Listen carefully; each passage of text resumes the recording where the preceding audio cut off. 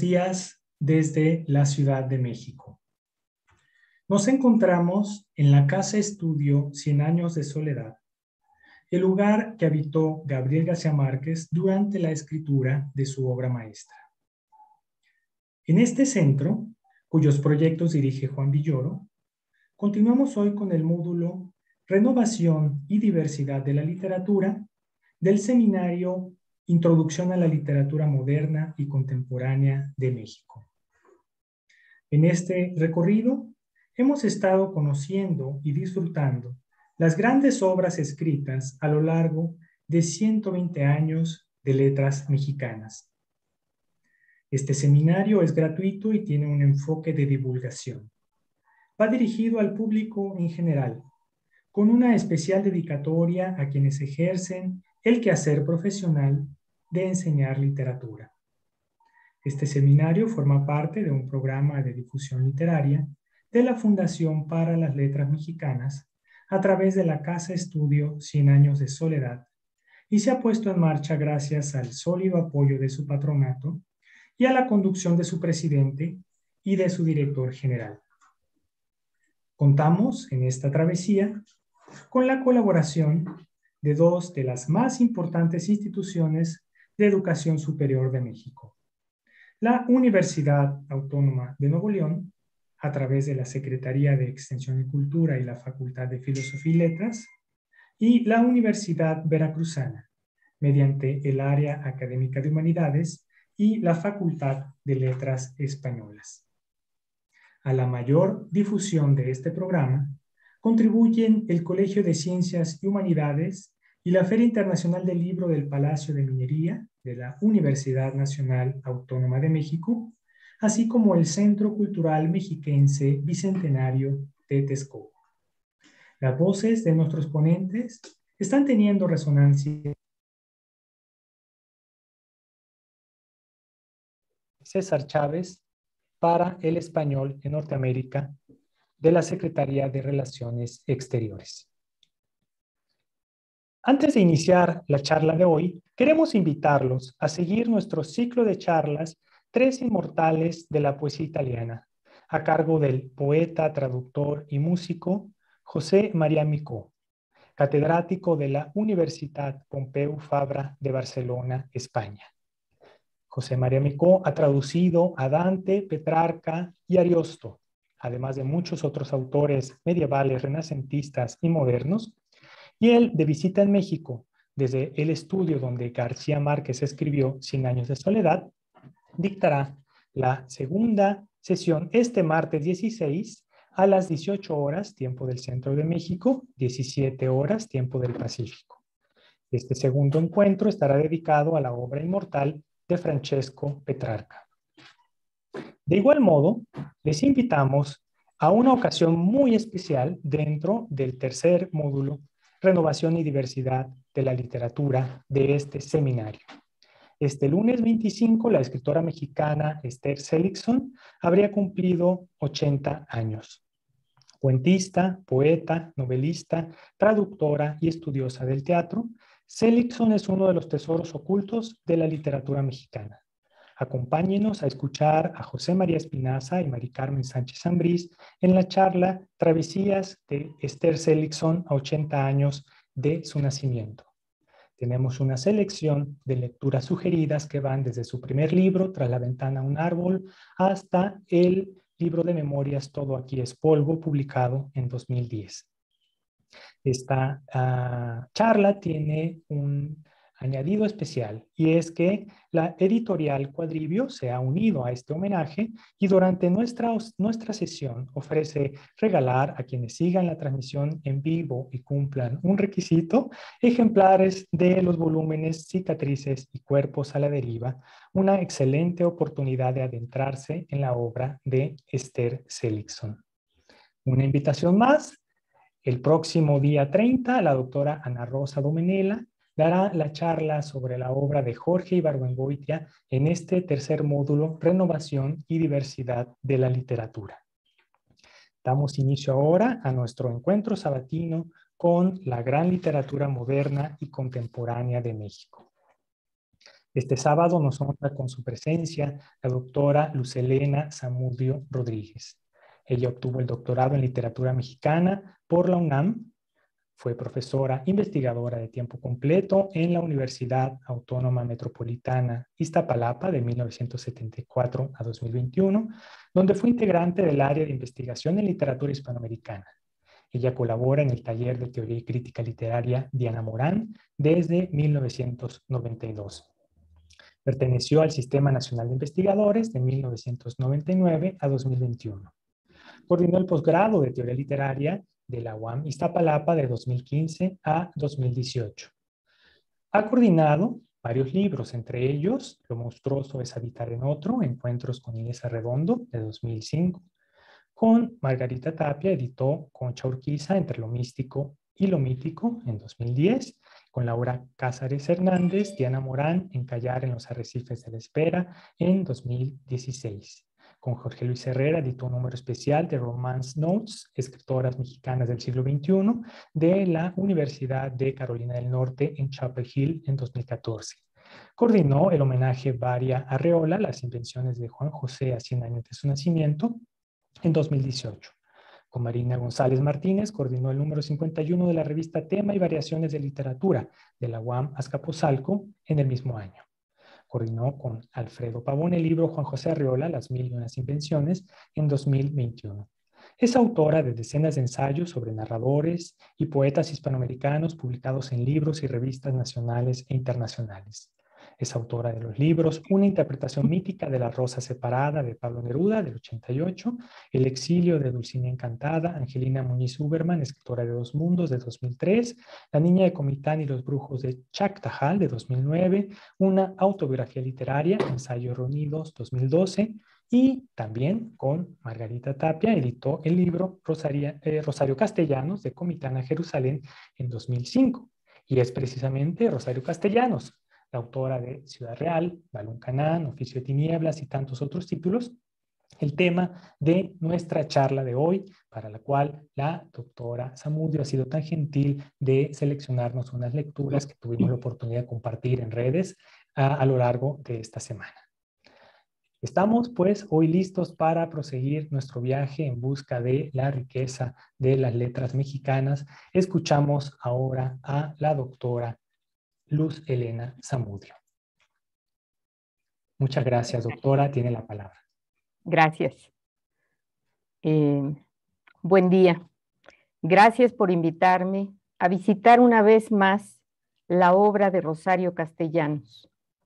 Seguramente nunca terminaré de leerla, pero profundizo en el conocimiento de su obra con las relecturas personales y con las de los críticos que siguen aportando nuevos acercamientos a ella.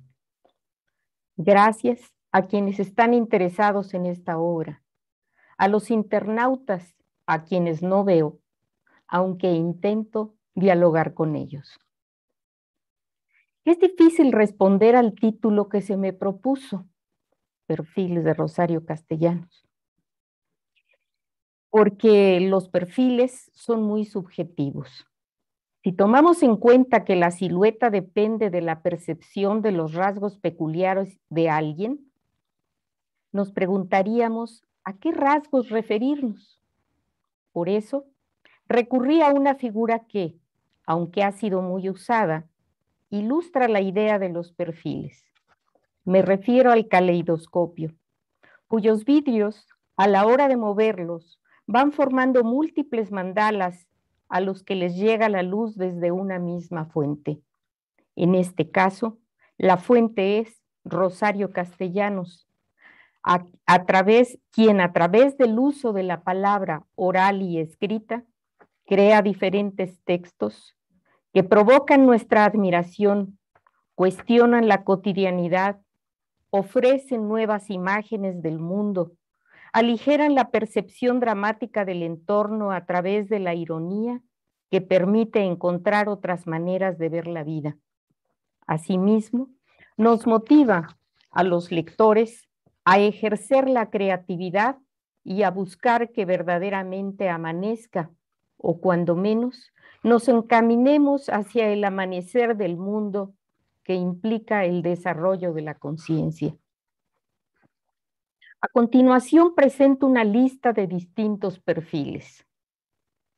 Rosario Castellanos y su mundo privado, Rosario Castellanos poeta, Rosario Castellanos filósofa, Rosario Castellanos narradora, Rosario Castellanos dramaturga, Rosario Castellanos escritora de cartas, Rosario Castellanos traductora, Rosario Castellanos profesora, Rosario Castellanos funcionaria, Rosario Castellanos lectora, Rosario Castellanos ensayista, Rosario Castellanos crítica literaria.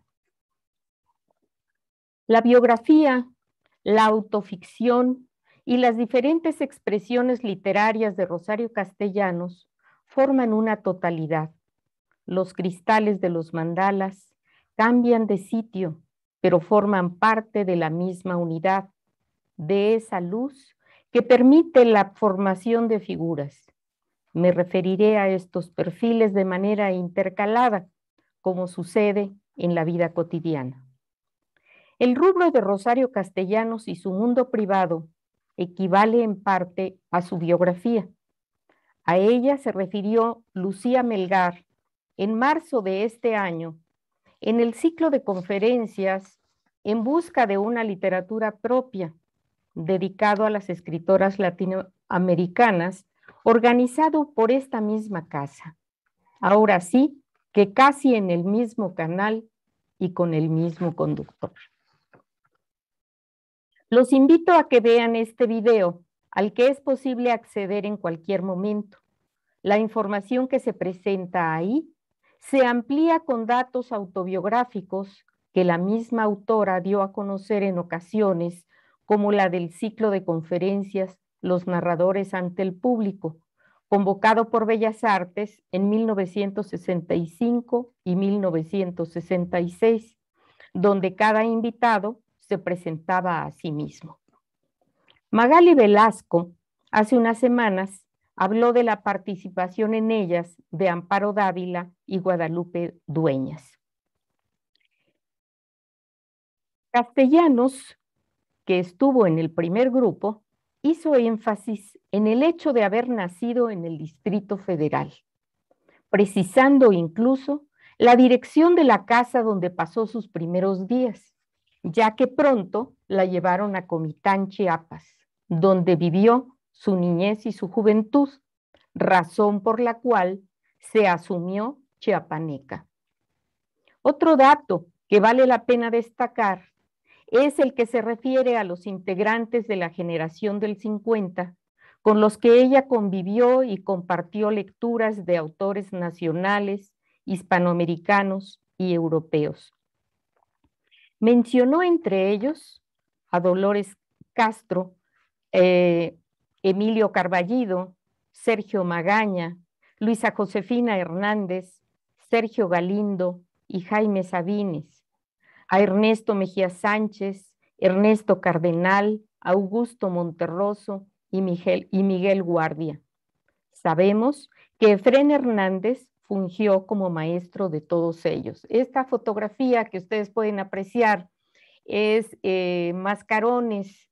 En un tiempo fue la facultad donde estudiaron todos estos escritores. A mí me tocó estudiar ahí eh, la preparatoria. Así que pues es familiar para mí también ese recinto. Los mandalas se sobreponen al tratar de conocer el desarrollo personal y literario de Rosario Castellanos. De la Conferencia de Bellas Artes, de entrevistas y de algunos eh, de sus ensayos, extraje información al respecto. Me referiré a la anécdota de su descubrimiento de la palabra, ya que ésta la trasciende y la define. En la conferencia de Bellas Artes citada dijo, me recuerdo a mí misma sola. Para conjurar los fantasmas que me rodeaban, yo no tuve a mi alcance sino palabras, mas una vez pronunciadas, su poder se evaporaba. Era preciso fijarlas en una sustancia más firme, en una materia más duradera. Se recuerda, siendo muy pequeña, en la biblioteca de su padre, donde los libros eran un misterio para ella, porque estaban escritos en inglés la mayoría, o se referían a temas incomprensibles para ella. Sin embargo, leía los periódicos que estaban a su alcance y que le llamaban la atención. Cito. Ah, mi hambre de tragedia se saciaba con la lectura de la nota roja. Debo admitir que más que lectura era adivinación, porque la mayor parte de los términos tenían un significado que me era desconocido. Termina la cita. En el ensayo titulado Lecturas tempranas, el, del libro Mujer que sabe latín 1973, también destaca su descubrimiento prematuro de la importancia del significado de las palabras.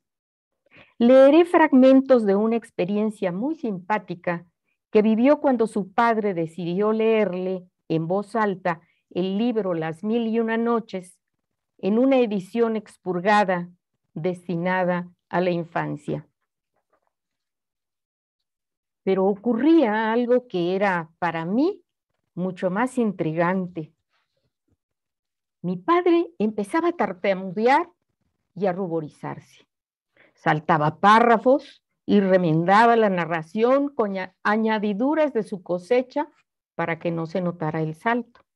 Así, nunca pude entender nada de lo que se me estaba relatando ni supe el fin de aquellas tramas tan prodigiosamente complicadas por intervenciones sobrenaturales. Pero cuando quedaba sola, me acercaba al libro, tan sigilosamente como Eva a la manzana, para esclarecer lo que se me había ocultado. Y me encontraba con enigmas insuperables, como este. Ánima y Abdullah se entregaron entonces a transportes amorosos. Transportes. Ahí estaba la clave. Pero esa palabra tenía entonces para mí una connotación única. Era sinónimo de autobús, de camión, de tren, de aeroplano, de cepelín. Si esta palabra hubiera estado sola, me habría sido perfectamente comprensible pero acompañada de esta otra con la que no acertaba establecer ningún tipo de relación, amoroso, ¿qué querría decir? Nunca se me concedió el don de los iluminados y como mis, mis pesquisas eran ilícitas y como la timidez me enmudecía, permanecía hasta cuándo? En la ignorancia del meollo de las fábulas orientales. Resulta inseparable, por tanto, la Rosario Castellanos lectora de la Rosario Castellanos escritora. En otra cita, también de mujer que sabe latín, en el ensayo antes comentado dice, siempre me he preguntado qué es lo que impulsa a una persona en pleno uso de sus facultades mentales, satisfecha de la vida, feliz y equilibrada a leer a leer libros de imaginación, aventuras ficticias, por supuesto. ¿Por qué a Don Quijote no le bastaba la sociedad del ama y su sobrina, del cura y del barbero, del barbero de su pueblo, y se afilia al club de los caballeros andantes, cuyas aventuras no únicamente admira y envidia, sino que también trata de imitar? Pero Don Quijote es también un personaje de ficción Quizás se convirtió en eso a fuerza de lecturas. Si tuviera la mano a un interlocutor, estaría ya preguntándole, tú, ¿por qué cuando eras niño dejaste de correr tras una pelota, de saltar las bardas para escaparte de los encierros? y preferiste la compañía de una página en la que se combinaban los signos y las letras de tal manera que el contorno de las figuras iba dibujándose y los episodios sucediéndose y el desenlace precipitándose? 1948 es una fecha trascendente en la vida de Rosario Castellanos. Ese año mueren sus padres y se publican los poemarios Trayectoria del Polvo y Apuntes para una declaración de fe que representan su primera expresión literaria. La compilación titulada Poesía no eres tú se difundió desde 1972 por el Fondo de Cultura Económica y contiene los 12 poemarios conocidos de Rosario Castellanos, escritos entre 1948 y 1972. En 1997, el Fondo de Cultura Económico también editó un libro, un disco compacto con una selección de poemas titulado Rosario Castellanos en el filo del gozo, que incluye sobre todo textos de los primeros poemarios, grabados con la voz de la actriz mexicana María del Carmen Farías. En 2002, Difusión Cultural de la UNAM, en la colección Voz Viva de México, editó el disco Rosario Castellanos Poesía, que contiene sobre todo poemas de la última etapa de vida de la poeta con su propia voz. Ilustraremos parte de la conferencia citando el material mencionado. No obstante que Manuel Carballo menospreció con críticas y comentarios a la persona y a la obra de la escritora que se identificaba chiapaneca, utilizaré parte de la entrevista que le hizo y que publicó en 1965, porque está estructurada a partir de la historia de sus libros comentada por ella misma. Quien considera el año 1940 como la fecha en que se inició como escritora. Recuerda también que en 1948 encontró un libro revelador para ella, la antología Laurel, a la que ya, de la que ya se habló previamente en dos ocasiones en este ciclo de conferencias. Y dice, ahí leí Muerte sin fin, que me produjo una conmoción de la que no me he repuesto nunca. Bajo su estímulo inmediato, aunque como influjo no se note, escribí en una semana Trayectoria del Polvo llegué a la poesía tras convencerme que los otros caminos no son válidos para sobrevivir. Y en esos años, lo que más me interesaba era la supervivencia. Las palabras poéticas constituyen el único modo de alcanzar lo permanente en este mundo, afirmó la escritora quien ejerció la autocrítica con la espada desenvainada. De su primer poemario, le dice a Carballo, me arrastró la retórica. A su siguiente poemario, Angélica Tornero, en su ensayo Expresiones de la subjetividad en la poesía de Rosario Castellanos, dedica la primera parte a él. Considera que el yo poético narrativo del texto desde el título, Trayectoria del Polvo, cito, proviene de la tradición heredada, presente en el relato bíblico y la liturgia católica, en los que se aborda el tema de la toma de conciencia de la carencia humana. Termina la cita de Tornero.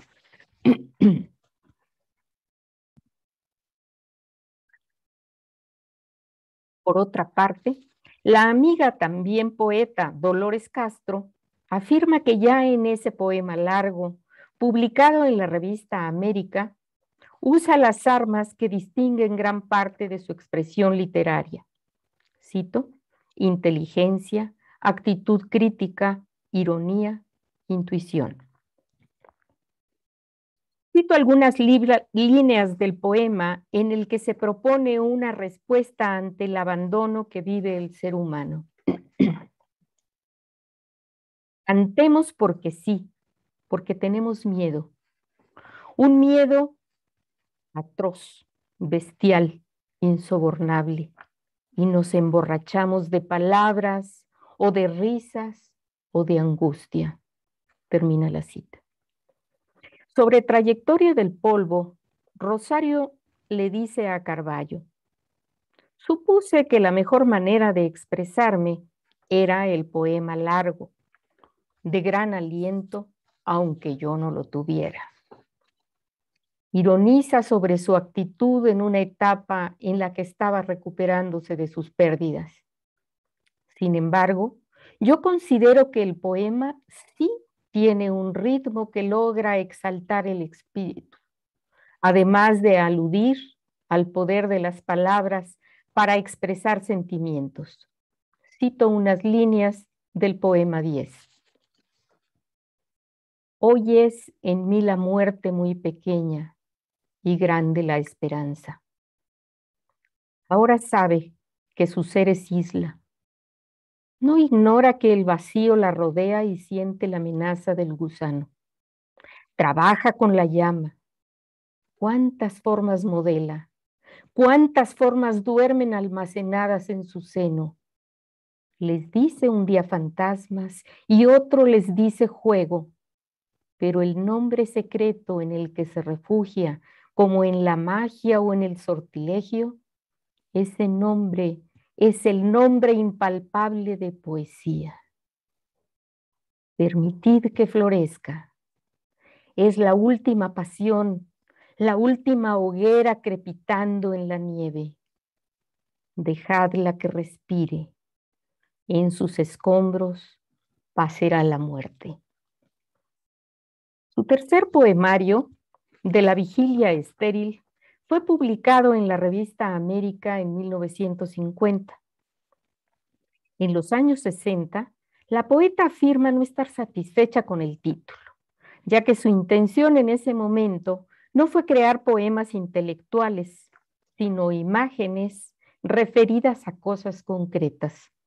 Revela que se inspiró en la Biblia y en la poesía de Gabriela Mistral para escribirlo el poema inicial, En el filo del gozo, que escucharemos en la voz de María del Carmen Farías, me evoca el cantar de los cantares, cuyo motivo es el diálogo amoroso de la esposa y, del esposo. En los siete cantos que lo constituyen, los protagonistas expresan su deseo carnal mutuo, utilizando metáforas que tienen como referente el mundo natural.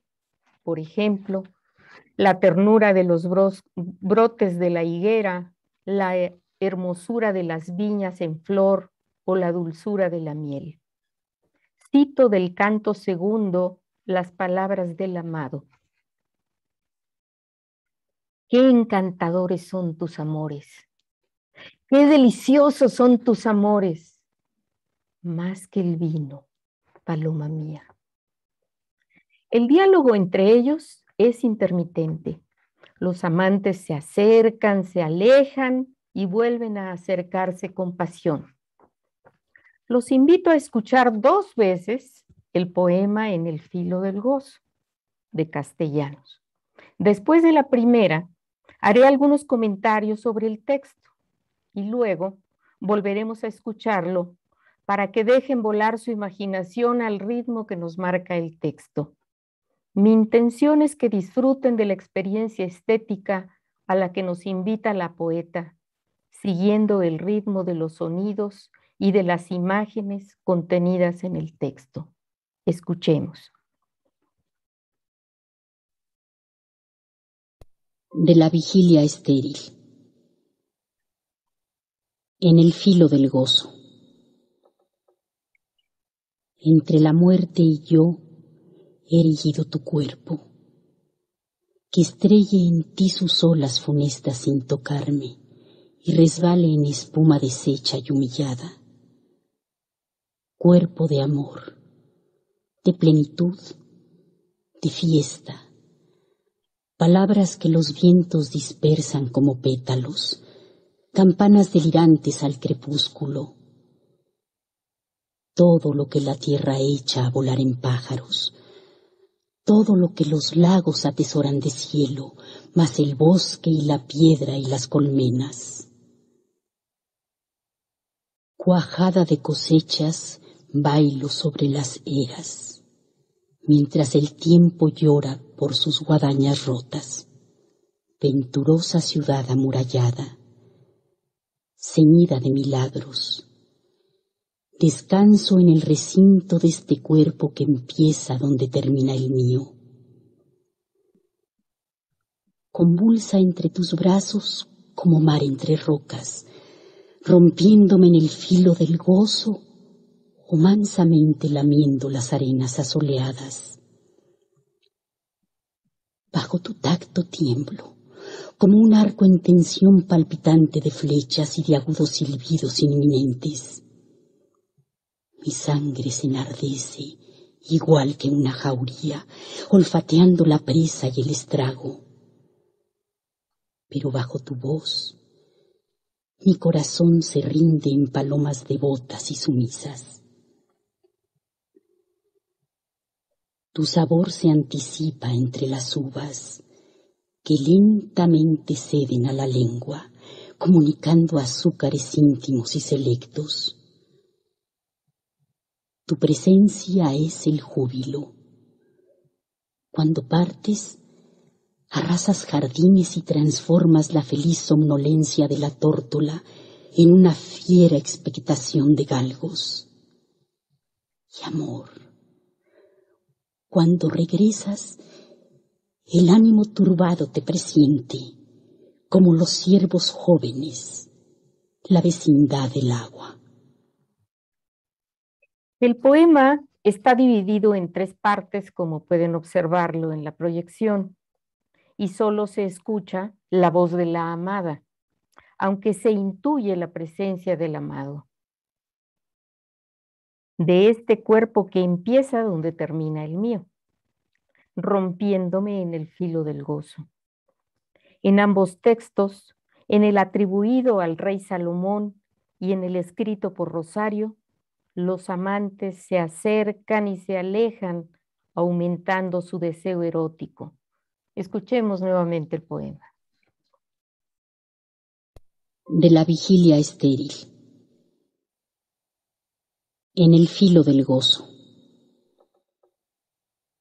Entre la muerte y yo he erigido tu cuerpo, que estrelle en ti sus olas funestas sin tocarme y resbale en espuma deshecha y humillada. Cuerpo de amor, de plenitud, de fiesta, palabras que los vientos dispersan como pétalos, campanas delirantes al crepúsculo, todo lo que la tierra echa a volar en pájaros, todo lo que los lagos atesoran de cielo, más el bosque y la piedra y las colmenas cuajada de cosechas, bailo sobre las eras, mientras el tiempo llora por sus guadañas rotas. Venturosa ciudad amurallada, ceñida de milagros. Descanso en el recinto de este cuerpo que empieza donde termina el mío. Convulsa entre tus brazos como mar entre rocas, rompiéndome en el filo del gozo o mansamente lamiendo las arenas asoleadas. Bajo tu tacto tiemblo, como un arco en tensión palpitante de flechas y de agudos silbidos inminentes. Mi sangre se enardece, igual que una jauría, olfateando la presa y el estrago. Pero bajo tu voz, mi corazón se rinde en palomas devotas y sumisas. Tu sabor se anticipa entre las uvas que lentamente ceden a la lengua, comunicando azúcares íntimos y selectos. Tu presencia es el júbilo. Cuando partes, arrasas jardines y transformas la feliz somnolencia de la tórtola en una fiera expectación de galgos. y amor. Cuando regresas, el ánimo turbado te presiente, como los siervos jóvenes, la vecindad del agua. 1950 también es clave para Rosario Castellanos. Ese año defendió su tesis de maestría en filosofía titulada Sobre cultura femenina. Rosario, filósofa, pronto descubrió el poder que le daba el uso de la ironía, la parodia e incluso el sarcasmo para expresar veladamente sus desacuerdos con la tradición social y cultural diseñada por varones. Em, aviso que intercalaré algunas eh, definiciones de algunos conceptos para quienes les sea útil eh, esto. La ironía es una figura retórica de pensamiento que consiste en usar una palabra en sentido figurado, es decir, con un doble sentido, uno aparente y otro que lo cuestiona o contradice. Esta contradicción puede llegar a la burla, y a la ridiculización del objeto al que se refiere. Sin embargo, la ironía no siempre es comprendida por quien la lee o la escucha. La joven Castellanos en su tesis hace evidente la ausencia de la mujer en la cultura mexicana. En el examen para titularse que llevó a cabo en la Facultad de Filosofía y Letras de la UNAM en junio de 1950, ahí en, eh, en esa escuela que vimos, utilizó la ironía en la argumentación de sus ideas, pero la mayoría del público no comprendió su intención. Hizo alarde de su aparente ingenuidad al reconocer la superioridad masculina per se con afirmaciones como, yo no solo no estoy acostumbrada a pensar conforme a la lógica y los cánones, ni siquiera estoy acostumbrada a pensar. Los asistentes, según se cuenta, se divirtieron mucho con el mensaje aparente. La investigadora Claudia Domínguez Miranda, en el libro Rosario Castellanos, Intelectual Mexicana, alude a la ingenuidad de los varones que participaron en el examen. Ellos estaban convencidos de su superioridad intelectual y no se percataron del doble mensaje de la discípula astuta. No se les ocurrió la posibilidad de que una mujer cuestionara la actitud discriminadora del poder masculino. Margit Frank, en una reseña sobre el examen de Rosario, publicada en México en la Cultura del periódico Novedades y citada por Domínguez Miranda, afirma, los miembros del sínodo, entre ellos Eduardo Nicol y Leopoldo Sea no podían contener la risa entre los retruécanos, que son repeticiones de frases invirtiendo el orden, que la sustentante introducía en la discusión filosófica. A estos grandes pensadores les faltó perspicacia para entender el discurso irónico de la examinada. En la entrevista de Carballo, la poeta habla de la proximidad entre filosofía y poesía. Cito, en una y otra se trata de llegar a lo esencial de los objetos. La diferencia se encuentra en el lenguaje. Si la filosofía tiene un principio de identidad, la poesía también lo tiene. Es la metáfora. Termina la cita.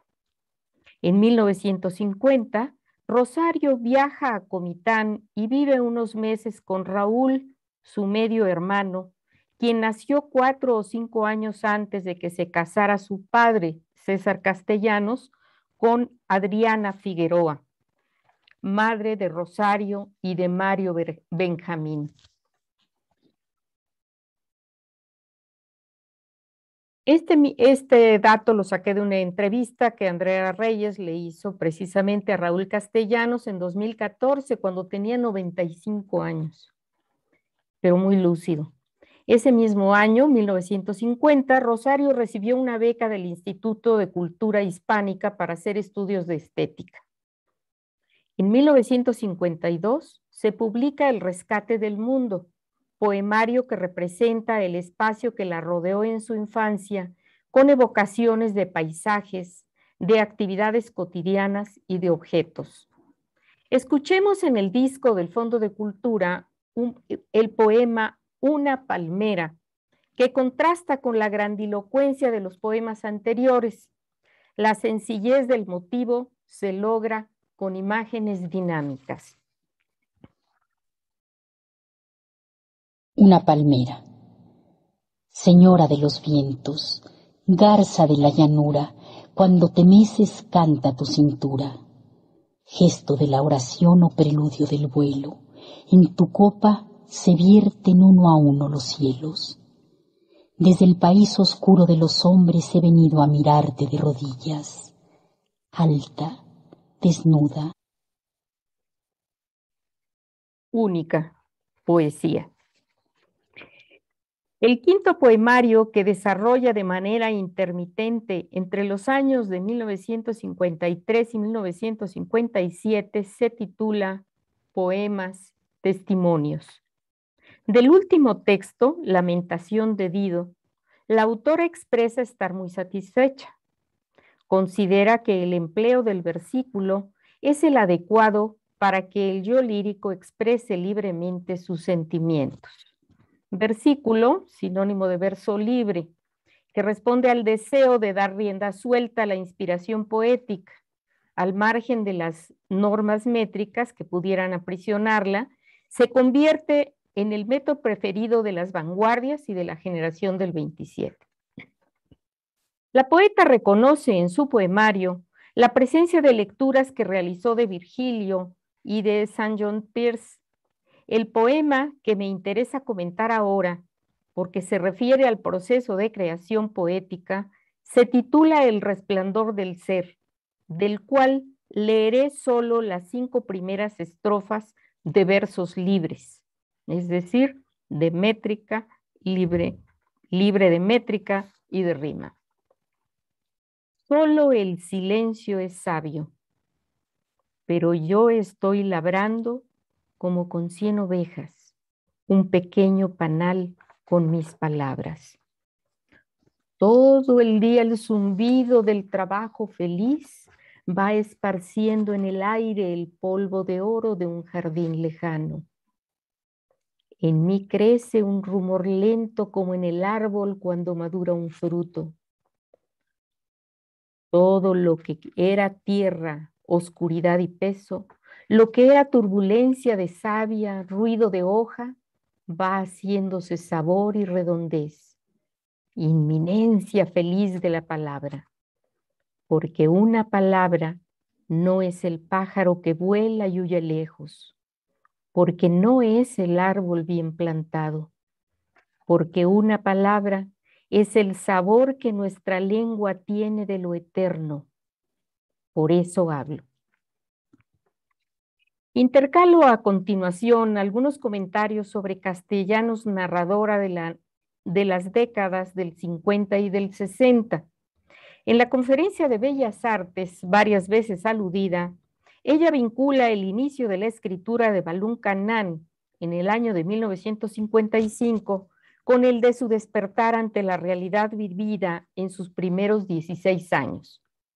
Cito, a medida que avanzaba, iba cobrando conciencia de cuál había sido la situación en que transcurrió mi infancia, de cuál era la clase a la que hasta entonces había pertenecido y de que el problema indígena en el que jamás me detuve a pensar demandaba ahora no solo mi atención intelectual, sino una actitud moral determinada. Me decidí entonces volver a Chiapas y ver de qué manera podía ser útil al Instituto Nacional Indigenista. La novela fue publicada por el Fondo de Cultura Económica dos años después y pronto se tradujo a otros idiomas. Les recomiendo que busquen en YouTube el programa Conciencia Histórica de la CEP y vean el episodio Balún Canán de Rosario Castellanos Arca de la Memoria, que formó parte del proyecto Aprende en Casa. Propone una interpretación original sobre la novela. A raíz de esta experiencia en Chiapas, en la misma década, surgen los motivos de varios poemas del libro Al pie de la letra, 1959. En el titulado La, la velada del sapo encontramos humor y ternura en la descripción del protagonista.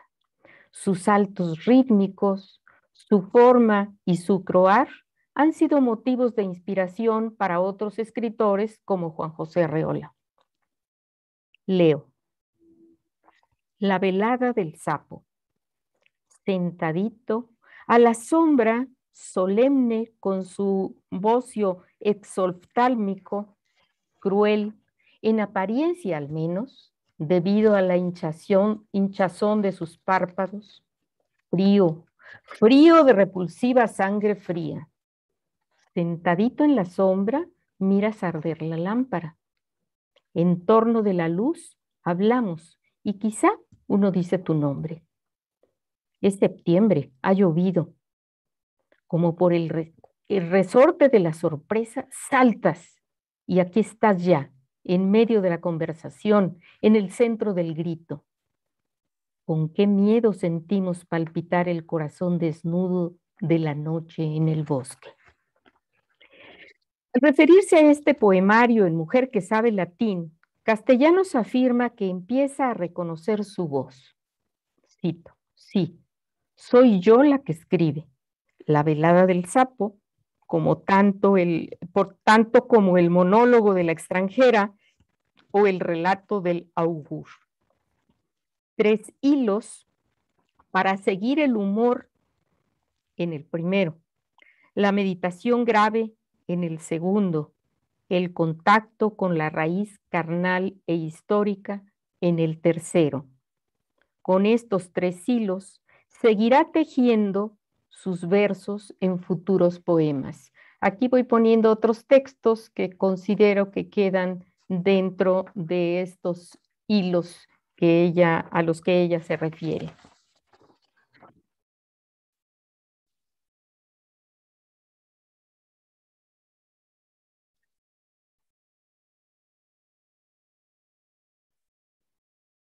La experiencia profunda de dos años de trabajo en zonas indígenas la motivó también para escribir el libro de cuentos Ciudad Real en el 1960, en el que se expresa sorprendida por la actitud ante la vida tanto de los indios como de los caslanes mestizos. De su segunda novela, Oficio de Tinieblas, publicada en 1962, Lucía Melgar hace un análisis sobre el texto en la conferencia mencionada. Aralia López, en el libro La espiral parece un círculo, publicado por la UAM Iztapalapa en 1991, hace un estudio profundo y vigente sobre esta novela de castellanos, para quien los indios no representan motivos exóticos, razón por la cual no se considera escritora indigenista. Ella afirmaba al respecto, los indios no me parecen misteriosos ni poéticos. Lo que ocurre es que viven en una miseria atroz. Por ello se propone hacer visible a través de su literatura la situación de maltrato de la que son objeto. Sin embargo, como afirma François Perus, Oficio de Tinieblas no postula ni el carácter supuestamente idílico de la comunidad y las culturas indígenas, ni la existencia de una conciencia indígena unificada capaz de comprender, demostrar y enfrentar los mecanismos de la dominación de que son objeto. Termina la cita de Perus. En 1958, Rosario se casa con el filósofo Ricardo Guerra, integrante del grupo conocido como Hiperión, al que pertenecieron también Luis Villoro, Joaquín Sánchez Magregor y Leopoldo Sea. Todos discípulos de José Gauss. Sus trabajos están enmarcados en la filosofía existencialista, inspirados en la obra de Martin Heidegger y de Jean-Paul Sartre.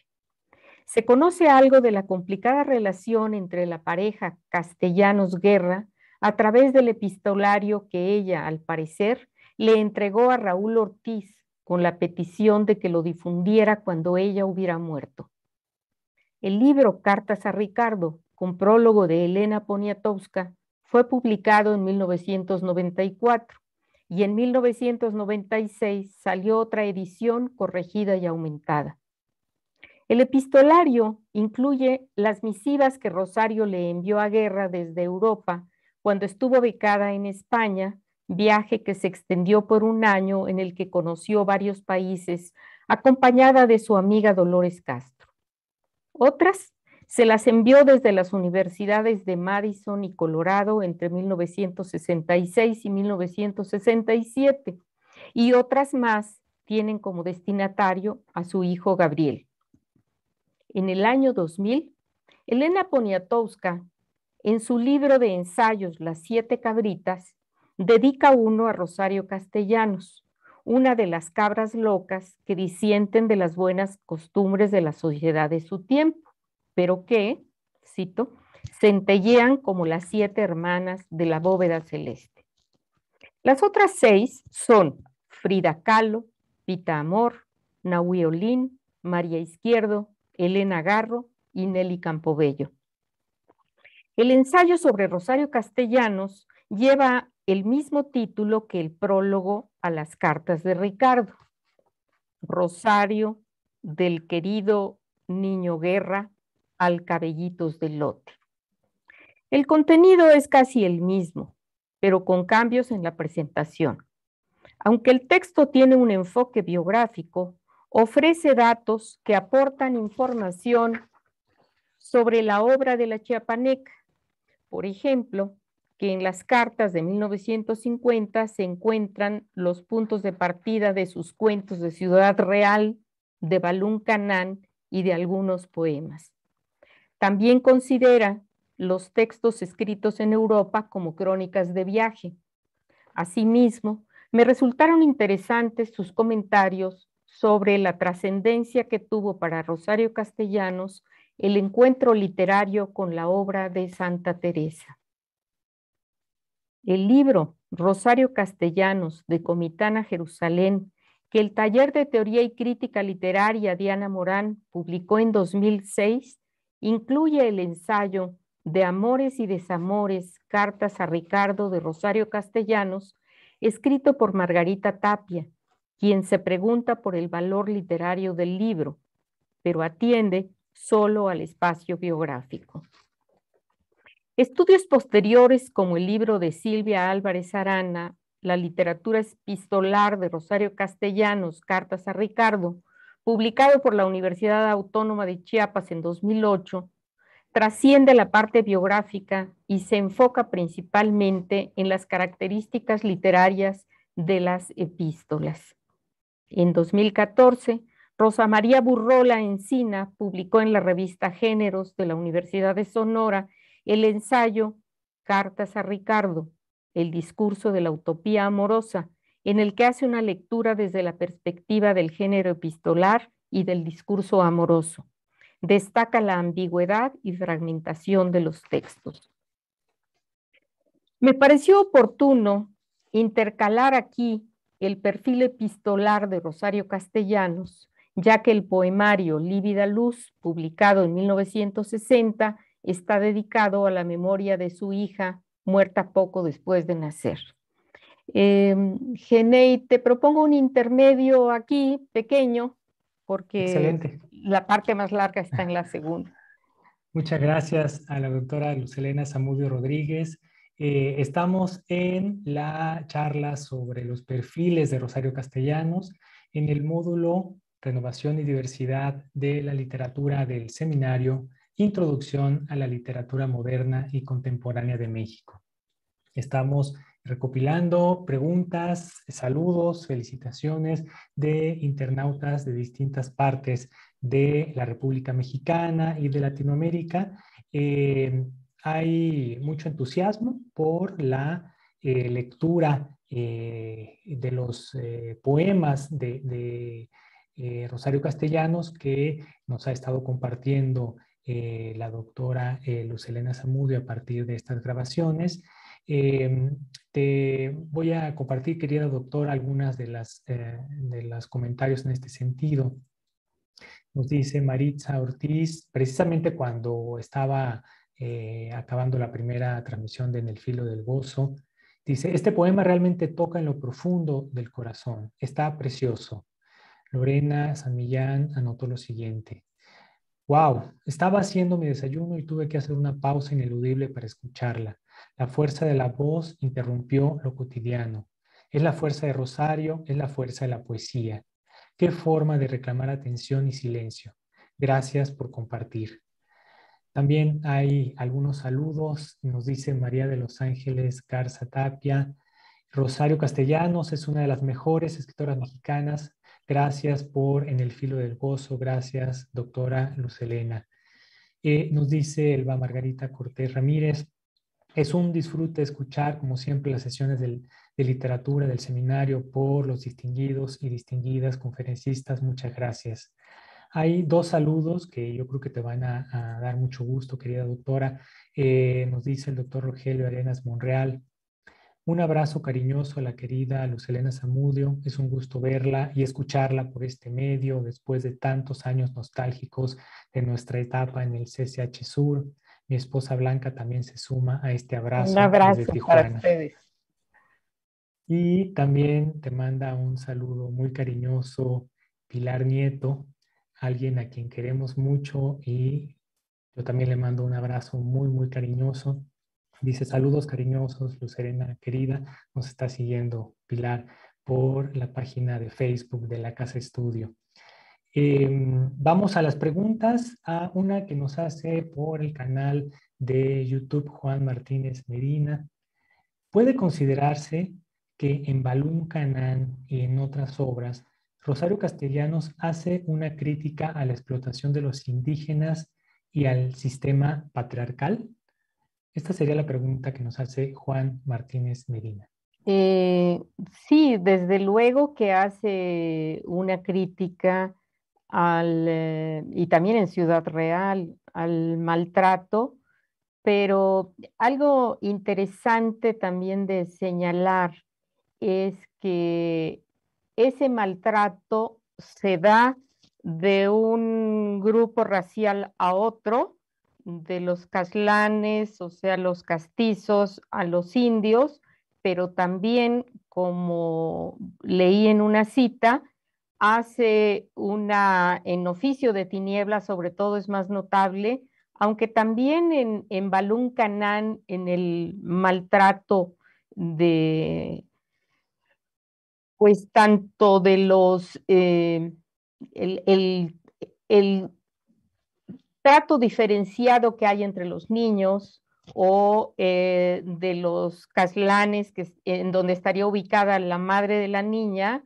eh, con la nana, eh, entonces sí hay una, una crítica. Y en oficio de tinieblas, pues todavía llama más la atención que hay una crítica a los dos grupos también dentro de su propia civilización, además de, esa, em, eh, de ese abuso de quien tiene más poder. Muchas gracias a la doctora Zamudio. Nos dice también a Dina Narváez, buenos días desde Nicaragua, desde Nueva Segovia, encantada de ser parte de este ameno seminario de hoy. Mirna eh, Fletes nos saluda. Eh, disfrutando esta charla, gracias a Casa Estudio Cien y a la doctora Zamudio, saludos desde Honduras. Eh, María Muñiz dice, gracias, siempre es un acto litúrgico sentarse a disfrutar esta comunión de la palabra. Gracias, doctora Luz Elena. Eh, tenemos una pregunta que nos hace Elisa Castillo Hernández. va en el siguiente sentido. Rosario Castellanos tiene precursoras en la literatura mexicana en el tratamiento de los asuntos de la condición femenina y de la situación de los indígenas. ¿La influyeron? ¿Fueron importantes para ella? Yo creo que como em, sobre los indígenas no, no, no tengo conocimiento, de que haya habido una influencia en ella. De las escritoras, pues eh, yo creo que sí, mencioné a Gabriela Mistral y, bueno, eh, pues todas las escritoras del 19, eh, latinoamericanas y mexicanas, sí ejercieron influencia, aunque ella, pues digamos, em, tiene la espada desenvainada con, con mayor claridad. Muchas gracias. También hay una pregunta que nos hace Elías R. Cárdenas, precisamente a partir de que em, al hablar de Canán se habló de las traducciones que se eh, realizaron de la novela. Em, dice, pero a pesar de eso, ¿por qué la obra de Castellanos ha sido poco difundida, poco conocida fuera de México? Ella fue contemporánea del boom. Bien podría haber tenido mayor proyección internacional. ¿Qué fue lo que, lo que ocurrió en su caso? Pues yo creo que era mujer, ni más ni menos. sí, sí hemos seguido en las charlas, vimos como en la generación de medio siglo, pues también de repente levantan la cabeza Amparo Dávila y, y, otras escritoras, ¿no? Es decir, realmente, pues no era fácil que se les tomara en cuenta, ¿no? Muchas gracias. Tenemos un comentario que nos hace Yolanda Ramírez Carballo desde la página de Facebook. Así se hace, doctora. No solamente demuestra un gran conocimiento del tema, sino que tiene usted un gran método didáctico. Excelente, la felicito. Y ojalá que aprendan su metodología todos los que estamos obligados a trabajar en la docencia en esta etapa de la vida. Eh, hay otra pregunta que nos hace Adriana Carrión dice que si en la obra de Rosario Castellanos se manifiesta la vertiente fantástica y cómo sería si es el caso. Pues no creo que como fantástico, pues yo creo que no, que no es algo que sobresalga en su, en su literatura. Tiene los pies más eh, puestos en la, en la cotidianidad. Muchas gracias, doctora. Tenemos aquí una, uh, Rudito, que se nos va a colar un minuto. Aprovecho para leerle otra pregunta que nos hace Estela Robledo, perdón, si Estela Robledo dice, ¿qué influjo ha tenido Rosario Castellanos en las siguientes generaciones de escritoras mexicanas? ¿Hay quienes han seguido su legado y de qué manera? Sí, sí, hay muchas y a eso me referiré en la segunda parte también, para que quede un poco más claro. Sí, en varios aspectos, en su eh, aspecto de crítica ante la limitación de la mujer, en fin, lo vamos a ver en, el, en la segunda parte. Si quedan más preguntas sobre eso, pues este, al final las aclaramos, claro que sí. Bien, una pregunta más antes de, de continuar con la segunda parte de la charla a Carmen Núñez eh, pide lo siguiente, si podría profundizar acerca del poder que tuvo Rosario Castellanos para la difusión de más poetas mexicanas, por ejemplo, Enriqueta Ochoa. Mm, pues quizá em, como difusora no, no hizo, eh, las difundió a través de los ensayos, de las interpretaciones, de las reseñas de sus libros, en los ensayos, que son muchísimos, vamos a hablar sobre ellos también en la segunda parte, ahí se pueden encontrar, si se revisan, eh, pues muchos estudios, yo me voy a referir a dos de ellos, a Dolores eh, Castro, de la que, ha salido a relucir también en estas charlas, y Concha Urquiza, es decir, ella tenía, por ejemplo, em, sacaba a la luz la obra de las escritoras que se conocían poco, que se les difundía poco, ella sí se ocupaba em, de difundirlas y de pues entrar a, los temas eh, de moda o es decir, aspectos sociales políticos, en fin, los ensayos son una parte que enriquece mucho esta, eh, esta faceta de Rosario Castellanos. Muy bien, pues tenemos dos comentarios más que nos hace aquí uno Sara Vargas. Un saludo cariñoso para la profesora Lucelena. Siempre es un placer escucharla y seguir aprendiendo con ella. Eh, Lourdes Pastor anota lo siguiente. Enhorabuena, Lucelena, qué bueno que hablas de nuestra querida maestra.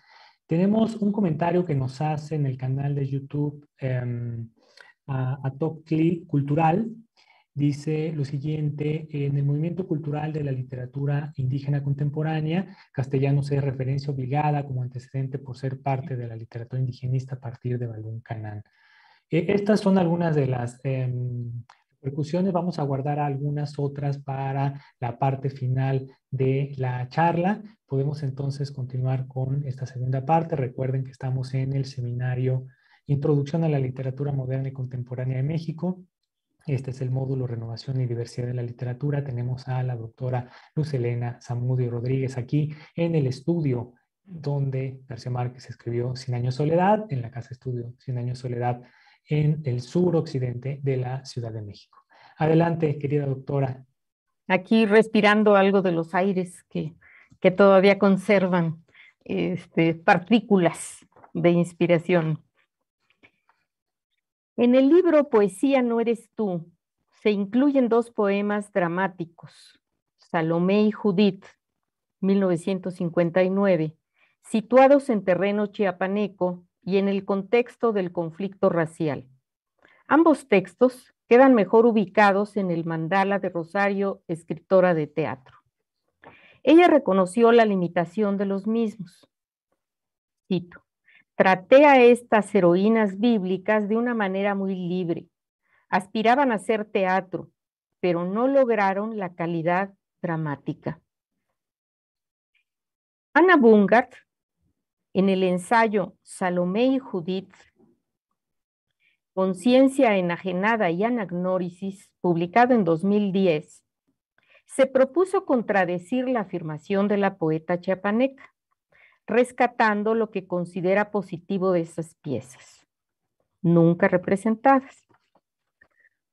Bungard afirma que ambas protagonistas manifiestan dos modos de rebeldía paradigmáticos, la de la mujer ladina, Salomé, y la de la mujer indígena, Judith. Aquí hablábamos precisamente de esa crítica a los dos grupos.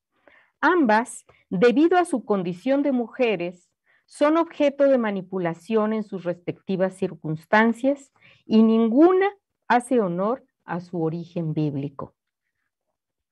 La investigadora hace hincapié en la cercanía entre estos personajes y las protagonistas creadas por García Lorca para Yerma, Bodas de Sangre y La Casa de Bernarda Alba. Todas estas mujeres encontraron la muerte por rebelarse contra las actitudes patriarcales de la comunidad familiar, nos dice Bungard. Además afirma que las influencias de los dos escritores se extienden a los aspectos estilísticos de las piezas dramáticas. Me pareció muy interesante poner esto porque pues creo que es la única que ha salido al rescate o que se ocupó y no se fue con la finta de Rosario de hacerse mala propaganda.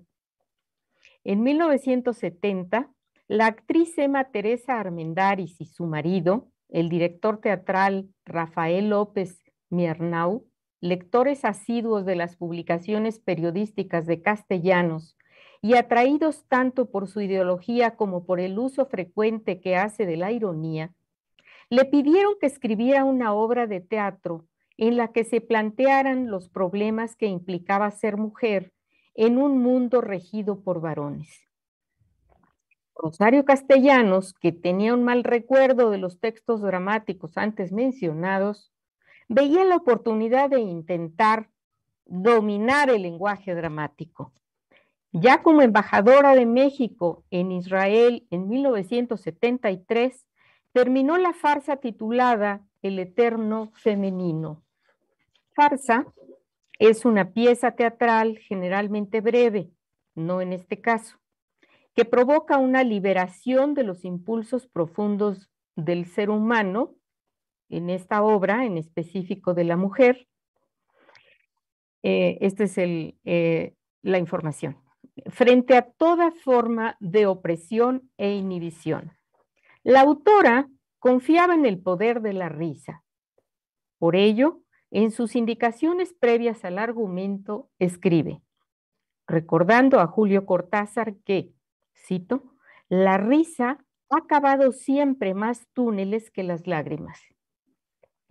Desafortunadamente, no tuvo la satisfacción de ver representada su obra, lo que sucedió un par de años después de su fallecimiento.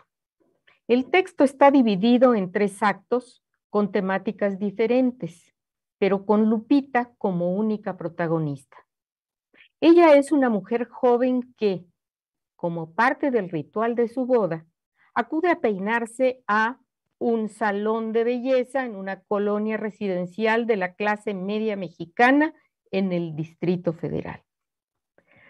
Antes de iniciar el secado de su cabello, introducen en el aparato eléctrico un aditamento que, según el vendedor del mismo, hará soñar a la persona en turno durante el proceso, evitando así que a la clienta se le ocurra pensar. Los sueños narrados en el primer acto le permiten a la protagonista verse en diferentes situaciones de su futura vida de casada.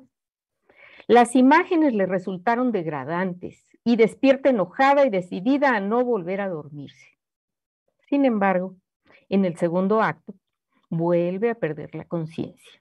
Ahora para encontrarse con varios personajes históricos femeninos que actúan de manera diferente a la difundida por la tradición, comenzando por Eva.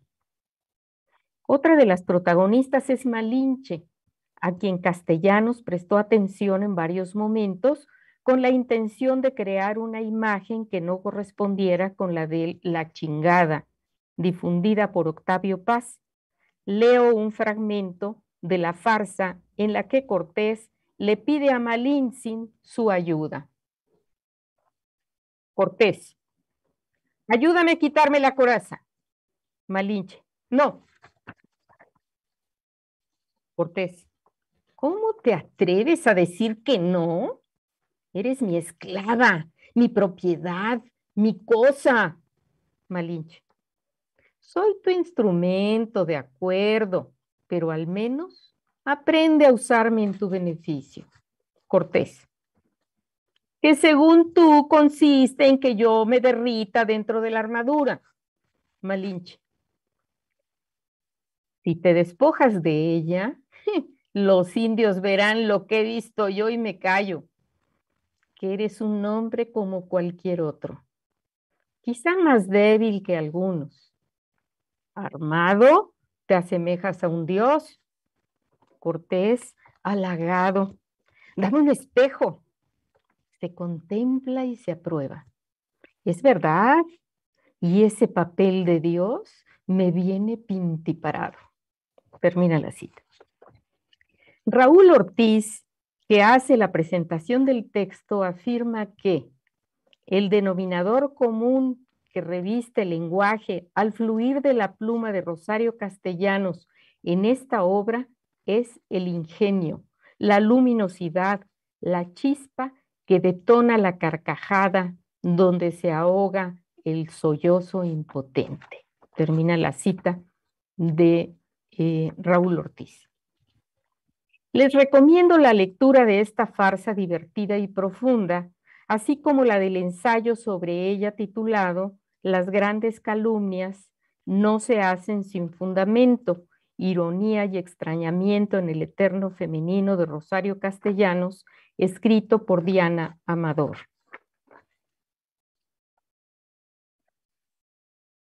En 1964, Ediciones Cera difunde Los Convidados de Agosto, que incluye tres cuentos y una novela breve, El viudo román. El libro en su totalidad ejemplifica la vida de la clase media en provincia. El tercero de los cuentos Los convidados de agosto, da título al libro. El epígrafe de este, cito, Blanca me era yo cuando fui a la ciega, diome el sol y ya soy morena, tomado de Lope de Vega. Alude a la soltería como una de las amenazas que aún angustian a mujeres que por su obsesión de casarse pierden la objetividad y se olvidan de las ventajas que les traería la solidaridad con las de su género. El cuento se ubica en la Feria de San Caralampio, que se lleva a cabo en el mes de febrero en San Cristóbal de las Casas. En la narración se hace evidente el clasismo que afecta la valoración del entorno. Cito. Más allá floreaban los geranios a los que Emelina, la protagonista, no concedió siquiera una mirada. De todas maneras, las plantas medrarían. Era tan ofrecida, tan desvergonzada esa flor de pobre. En cambio, su lujo se esponja en los crisantemos, en las dalias. Los temores de Emelina trastocan la interpretación de algunos hechos. Por ejemplo, al referirse a un canario que tuvo la oportunidad de vivir fuera de la jaula cuando ella le abrió la puertecilla, afirma que se quedó paralizado por el abismo que lo rodeaba. La diferencia de trato entre varones y mujeres en todos los niveles sociales también se hace evidente. Ellos reían con sabrosura, mientras que las mujeres a medias, ocultando los labios bajo el fichú de lana o el chal de tul o el rebozo de algodón. Otro temor que aqueja a los personajes femeninos es la llegada de la vejez, ya que sumaría un motivo más de rechazo. Maricruz Castro Ricalde, en el ensayo de la literatura al cine, del viudo romana El secreto de Romelia, se refiere a los cuentos y a la novela corta El viudo román, que fue llevada al cine. El guion lo hizo Busi Cortés y se estrenó en 1988. El octavo poemario, Materia Memorable, se sitúa en 1969 y está dirigido a quien corresponde. Sin embargo, algunos poemas tienen dedicatorias específicas a mujeres que han dejado una huella profunda, ahora sí, en la cultura femenina, de cuya ausencia habló Castellanos en su tesis. Ellas son Ofelia Gilmain, Remedios Varo y Gertrudis Duby, notables por su trabajo en el teatro la primera, en la pintura y la escultura la segunda, y en la fotografía y etnografía, el periodismo y el trabajo social, la tercera. Démosle otra vuelta al caleidoscopio para ver el mandala de Castellanos Traductora, que leyó algunos de sus autores preferidos en la lengua original y trasladó al español textos que se incluyeron en Poesía No Eres Tú. Me refiero a poemas de Emily Dickinson, Oda Segunda, El Espíritu y el Agua, de Paul Claudel, y Marcas, de San John Pierce, agrupados todos bajo el título Versiones, que implica el punto de vista que Castellanos tenía sobre las traducciones. Esta visión se acerca a la de aproximaciones, concepto utilizado por Juan José Arreola y por José Emilio Pacheco.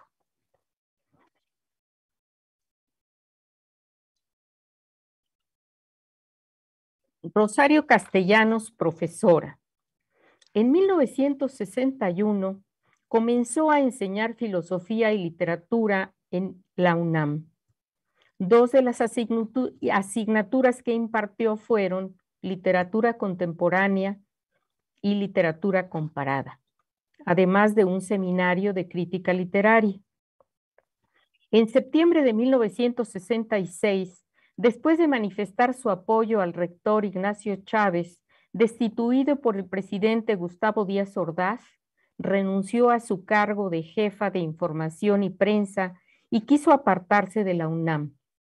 Con el apoyo de su colega María del Carmen Millán, salió del país para impartir cursos en Madison, Indiana y Colorado. Afortunadamente, en 1967, se reincorporó a la UNAM como profesora en la Facultad de Filosofía y Letras durante el rectorado de Javier Barrosierra. La doctora María del Carmen Millán fue la primera mujer que ingresó a la Academia Mexicana de la Lengua. Cuando recibió su nombramiento por esta institución afirmó, Rosario es quien debería estar en la academia, pero sus miembros deben radicar en México. Este reconocimiento de su colega y amiga permite imaginar que Rosario Castellanos, por sus méritos académicos, podría haber sido la primera mujer que ingresara a la Academia Mexicana de la Lengua. El primer semestre de 1971 tuve la oportunidad de cursar con la profesora Rosario Castellanos la materia novela contemporánea en la Facultad de Filosofía y Letras de la UNAM. Recuerdo que me sentaba en una banca que estuviera fuera de la vista de la profesora, aunque yo sí la veía muy bien a ella. En aquel tiempo era yo muy tímida y la personalidad de Castellanos, a la vez que me atraía, me impactaba por sus conocimientos y por el uso de la ironía. Dedicamos seis meses al análisis de la novela El Jarama de Rafael Sánchez Ferlosio, en la que el realismo y la poesía forman una unidad. Recuerdo con emoción y gusto aquella experiencia. Durante las clases, con frecuencia reíamos a carcajadas cuando la persona aludía a situaciones sociales y políticas que nos resultaban familiares. Creo que ese fue el último curso que impartió Rosario Castellanos en la Facultad de Filosofía y Letras de la UNAM. Ese mismo año, Luis Echeverría la nombró embajadora de México en Israel. En la Universidad Hebrea de Jerusalén continuó sus actividades académicas hasta 1974. Tampoco abandonó la escritura de creación ni su colaboración periodística semanal en México. Como consecuencia de la huella profunda que dejó su trabajo docente en Israel, en 1998 se creó la Cátedra Rosario Castellanos, donde cada año se invita a un académico o escritor mexicano para impartir cursos sobre cultura, historia, filosofía o literatura mexicanas, como mencionó el doctor Quirarte en su conferencia. La UNAM también tiene una cátedra con su nombre. Acerquémonos al mandala que se forma con las actividades que Castellanos realizó como servidora pública. Trabajó en el Instituto Nacional Indigenista de 1950 a 1961. Una de sus actividades fue la de guionista del Teatro Guiñol, en el que Petul, traducción de Pedro, al, ha de ser al celtal, la marioneta principal transformada ya por la palabra, por la otra civilización, se hizo famoso entre el público. Ayer estuvimos comentando en el taller sobre esto con Gloria Prado, Edith Negrín, en fin. En 1961 fue nombrada jefa de información y prensa en la UNAM bajo el rectorado de Ignacio Chávez. En 1966, como mencioné, se manifestó en apoyo de la postura de defensa del eh, entonces rector destituido. Em, cuando presentó su renuncia, Javier Barrios Sierra, el nuevo rector, la aceptó, pero la conminó a que continuara colaborando en la institución. Otro cargo fue el nombramiento de secretaria del PEN Club en México en 1969. En 1971 comenzó su función como embajadora de México en Israel, cargo que ejerció hasta su muerte en 1974. Regresemos al mandala de la poesía. En 1972 se publicaron sus últimos cuatro libros. Continuaré con el orden seguido en Poesía no eres tú. Tierra de en medio es el poemario al cual se refiere Dolores Castro en la siguiente cita. Es un grupo de poet, un grupo de poemas próximos al relato, proclives a la ironía, compuestos por episodios nimios de la vida diaria, plenos de poesía, de gracia. En el famoso poema Autorretrato, el yo lírico femenino toma distancia y reconoce sus limitaciones, sobre todo en lo que concierne a la falta de autoconocimiento, consecuencia de la educación y de la herencia recibida de sus antepasados. Castellanos juega con la idea del autorretrato. El poema, desde la autoficción, alude a las actividades personales del yo lírico, que mencioné hace un rato, y a sus relaciones afectivas, las que podemos cotejar con su biografía. Cito. Soy madre de Gabriel. Escribo este poema y otros y otros. Hablo desde una cátedra. Colaboro en revistas de mi especialidad y un día a la semana publico en el periódico. Este recurso le da credibilidad al texto, de manera que muchas mujeres se identifican con esas experiencias vividas por el yo lírico. En el texto se pasa de lo particular a lo general, ya que como el yo lírico, muchas mujeres viven enajenadas de sí y responden a exigencias externas a ellas y no a las propias. Cito. ¿Sería yo feliz si yo supiera cómo? En cambio, me enseñaron a llorar, pero el llanto es en mí un mecanismo descompuesto y no lloro en la cámara mortuoria, ni en la ocasión sublime, ni frente a la catástrofe. Lloro cuando se quema el arroz o cuando pierdo el último recibo del impuesto predial termina la cita. Este deseo se hace evidente, en ese deseo de hacer evidente el dominio del patriarcado lleva a la poeta a expresarlo de distintas maneras y en diferentes ocasiones. Cito al respecto el ensayo La mujer y su imagen que abre Mujer que sabe latín. Desde que nace una mujer, la educación trabaja sobre el material dado para adaptarlo a su destino y convertirlo en un ente moralmente aceptable, es decir, socialmente útil. Así, se le despoja de la espontaneidad para actuar. Se le prohíbe la iniciativa de decidir.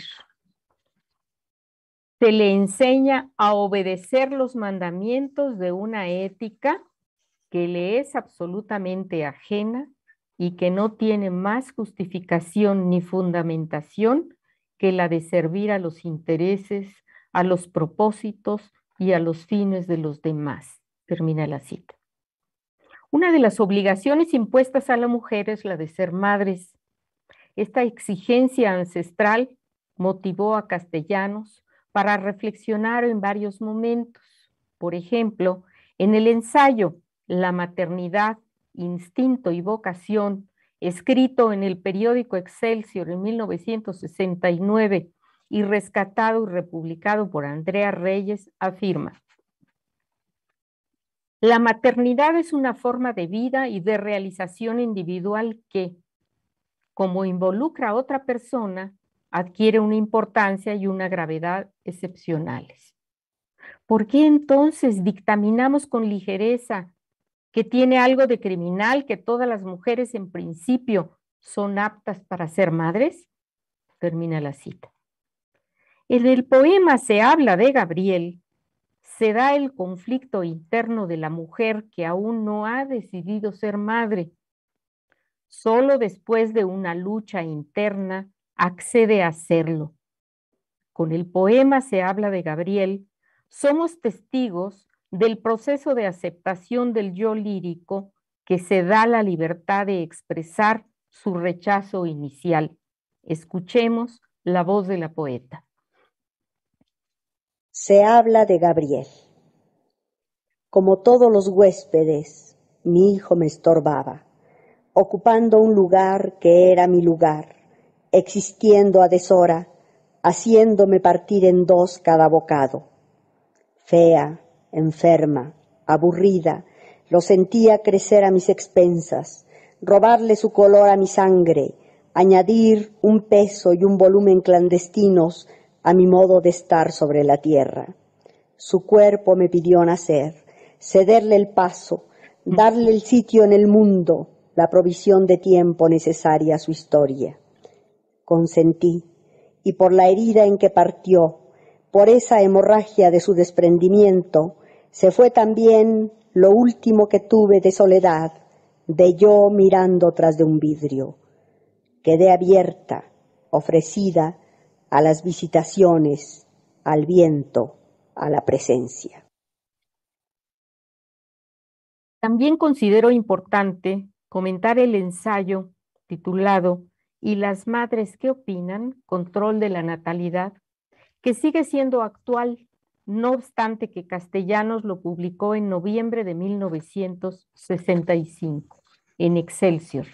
Cito, resulta un atentado contra la libre determinación individual imponer obligatoriamente la maternidad a mujeres que la rechazan porque carecen de vocación, que la evitan porque es un estorbo para la forma de vida que eligieron o de la que se alejaron como de un peligro para su integridad física. Termina la cita. La actualidad de las reflexiones de Rosario Castellanos se confirma, por ejemplo, con la reciente polémica sobre la maternidad en la que algunas mujeres expresan diferentes posturas al respecto. Andrea Fuentes Silva, editora del libro Mucha Madre, afirma, no hay una maternidad, hay múltiples maternidades, porque cada madre y cada contexto es en que se es y se existe como madre es diferente. Cada posibilidad y utopía son infinitas. Elizabeth Badinter, en La mujer y la madre, anuncia un libro polémico sobre la maternidad como nueva forma de esclavitud. Aquí va algo de la respuesta que pedía a, la pregunta que solicitaban sobre trascendencia. Este es uno de los aspectos que ha trascendido.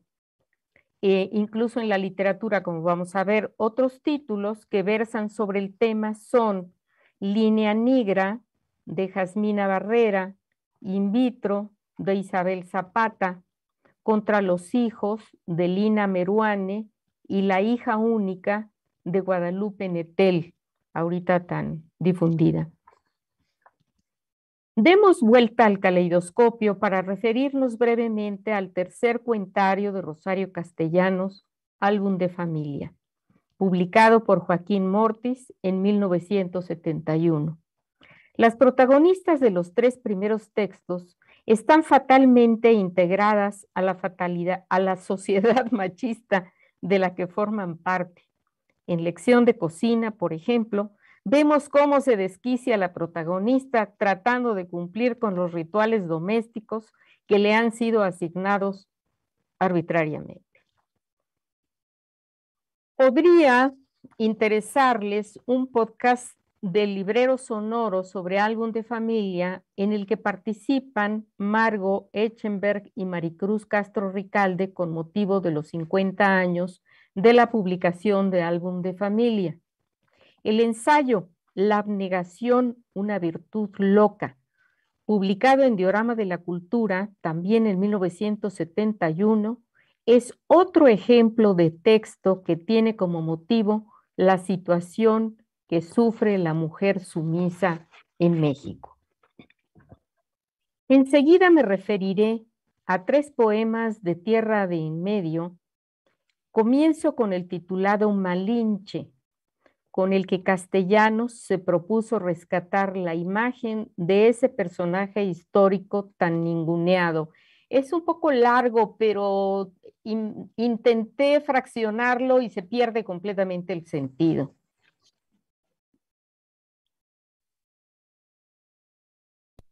Malinche. Desde el sillón del mando, mi madre dijo, ha muerto. Y se dejó caer como abatida en los brazos del otro, usurpador, padrastro, que la sostuvo no con el respeto que el siervo da a la majestad de reina, sino con ese abajamiento mutuo en que se humillan ambos, los amantes, los cómplices. Desde la plaza de los intercambios, mi madre anunció, ha muerto. La balanza se sostuvo un instante sin moverse, y el grano de cacao quedó quieto en el arca, y el sol permanecía en la mitad del cielo, como aguardando un signo que fue, cuando partió como una flecha, el ay agudo de las plañideras. Se deshojó la flor de muchos pétalos, se evaporó el perfume, se consumió la llama de la antorcha. Una niña regresa, escarbando, al lugar en el que la partera depositó su ombligo. Regresa al sitio de los que vivieron reconoce a su padre asesinado. Ay, ay, ay, con veneno, con puñal, con trampa ante sus pies, con lazo de horca. Se toman de la mano y caminan, caminan, perdiéndose en la niebla. Tal era el llanto y las lamentaciones sobre algún cuerpo anónimo, un cadáver que no era el mío, porque yo, vendida a mercaderes, iba como esclava, como nadie al destierro arrojada, expulsada de mi reino, de mi palacio, de la entraña tibia de la que me dio a luz en tálamo legítimo y que me aborreció porque yo era su igual en figura y en rango, y se contempló en mí y odió su imagen y destrozó el espejo contra el suelo. Yo avanzo hacia el destino entre cadenas y dejo atrás lo que todavía escucho, los fúnebres rumores con los que se me entierra y la voz de mi madre con lágrimas, con lágrimas que decreta mi muerte. Aquí vemos también otro tema que pues es esa competencia también entre mujeres. Tristemente, pero real.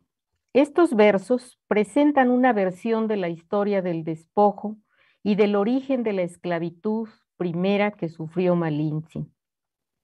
Inés Arredondo también hace una ficcionalización de este evento en el cuento infantil La historia de una princesa. Asimismo, Margot Glantz tiene ensayos sobre este personaje tan polémico y coordinó el libro La Malinche, sus padres y sus hijos, compuesto por 17 textos. Otro poema que me interesa destacar es el titulado Memorial de Tlatelolco, en el que se hace relevante la falta de luz ante los hechos dolorosos de la represión estudiantil vividos en México en octubre de 1968. Cito la afirmación al respecto contenida en los versos iniciales. La oscuridad engendra, engendra la violencia y la violencia pide oscuridad para cuajar su crimen. En los versos iniciales se hace una invitación al lector para no olvidar esa tragedia vivida. Recuerdo, recordamos. Esa es nuestra manera de ayudar a que amanezca sobre tantas conciencias mancilladas, sobre un texto iracundo, sobre una reja abierta. Recuerdo, recordemos hasta que la injusticia se siente entre nosotros. Termina la cita. La esperanza de que la luz extinga la oscuridad que oculta el crimen la encontramos ya en oficio de tinieblas, que cierra con el siguiente texto.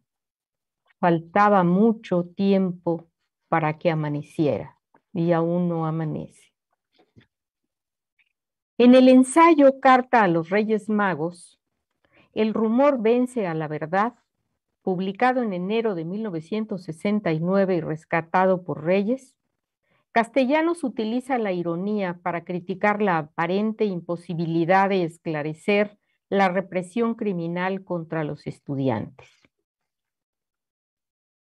En el texto titulado Poesía no eres tú, em, que es el último del poemario de en la Tierra de en medio, eh, se explica que la poesía con mayúscula solo existirá cuando sea posible el diálogo con el otro. Los invito a escuchar el poema Poesía no eres tú en la voz de María del Carmen Farías.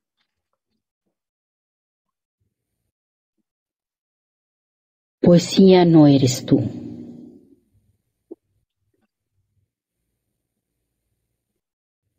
porque si tú existieras, tendría que existir yo también. Y eso es mentira. Nada hay más que nosotros, la pareja, los sexos conciliados en un hijo, las dos cabezas juntas, pero no contemplándose, para no convertir a nadie en un espejo sino mirando frente a sí, hacia el otro. El otro, mediador, juez, equilibrio entre opuestos, testigo, nudo en el que se anuda lo que se había roto. El otro, la mudez que pide voz al que tiene la voz y reclama el oído del que escucha.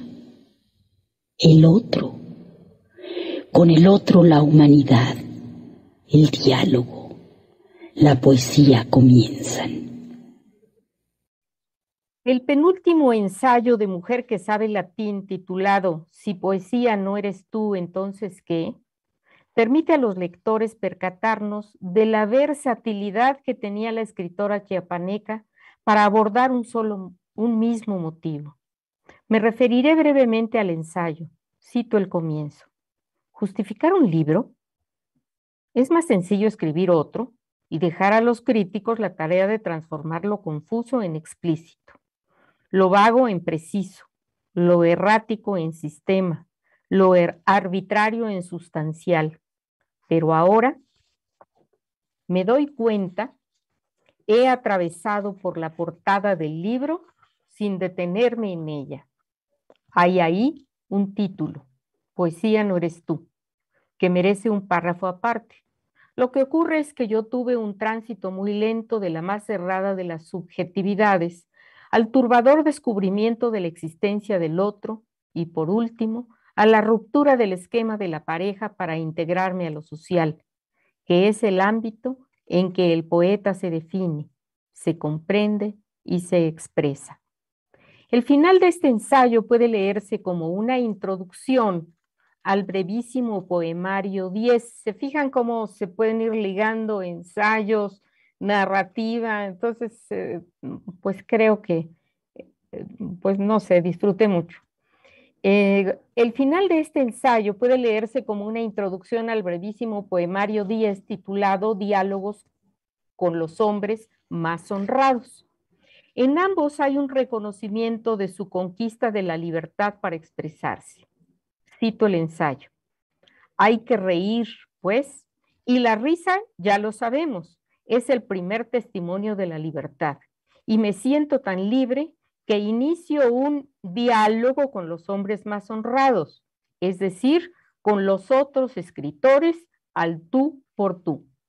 En el poemario titulado diálogo con los hombres más honrados, llama a la atención que después del diálogo que el yo lírico establece con poetas varones calificados como más honrados, Porfirio Barba Jacob, Pablo Neruda, Miguel Hernández, Juan Ramón Jiménez, Ramón López Velarde y Federico García Lorca, se cierre el texto con un breve poemario titulado Consejo de Celestina, que pone sobre aviso a la mujer de los peligros del amor. El sentido del humor no le falla. El poemario Otros Poemas, también de 1972, incluye 11 textos cuyos motivos ubican a los lectores en la vida cotidiana. El poema de mutilaciones habla del desgaste sutil que implica vivir. El titulado Tan tan quién es es un anuncio de la muerte a partir de la leyenda de San Pascual, quien avisa a sus devotos con tres golpes la proximidad de su muerte. El poema Kinsey Report alude a la problemática que vive la mujer ante la sexualidad durante sus diferentes etapas de vida. Se refiere a la mujer casada, a la soltera, a la soltera ilusa y a la lesbiana.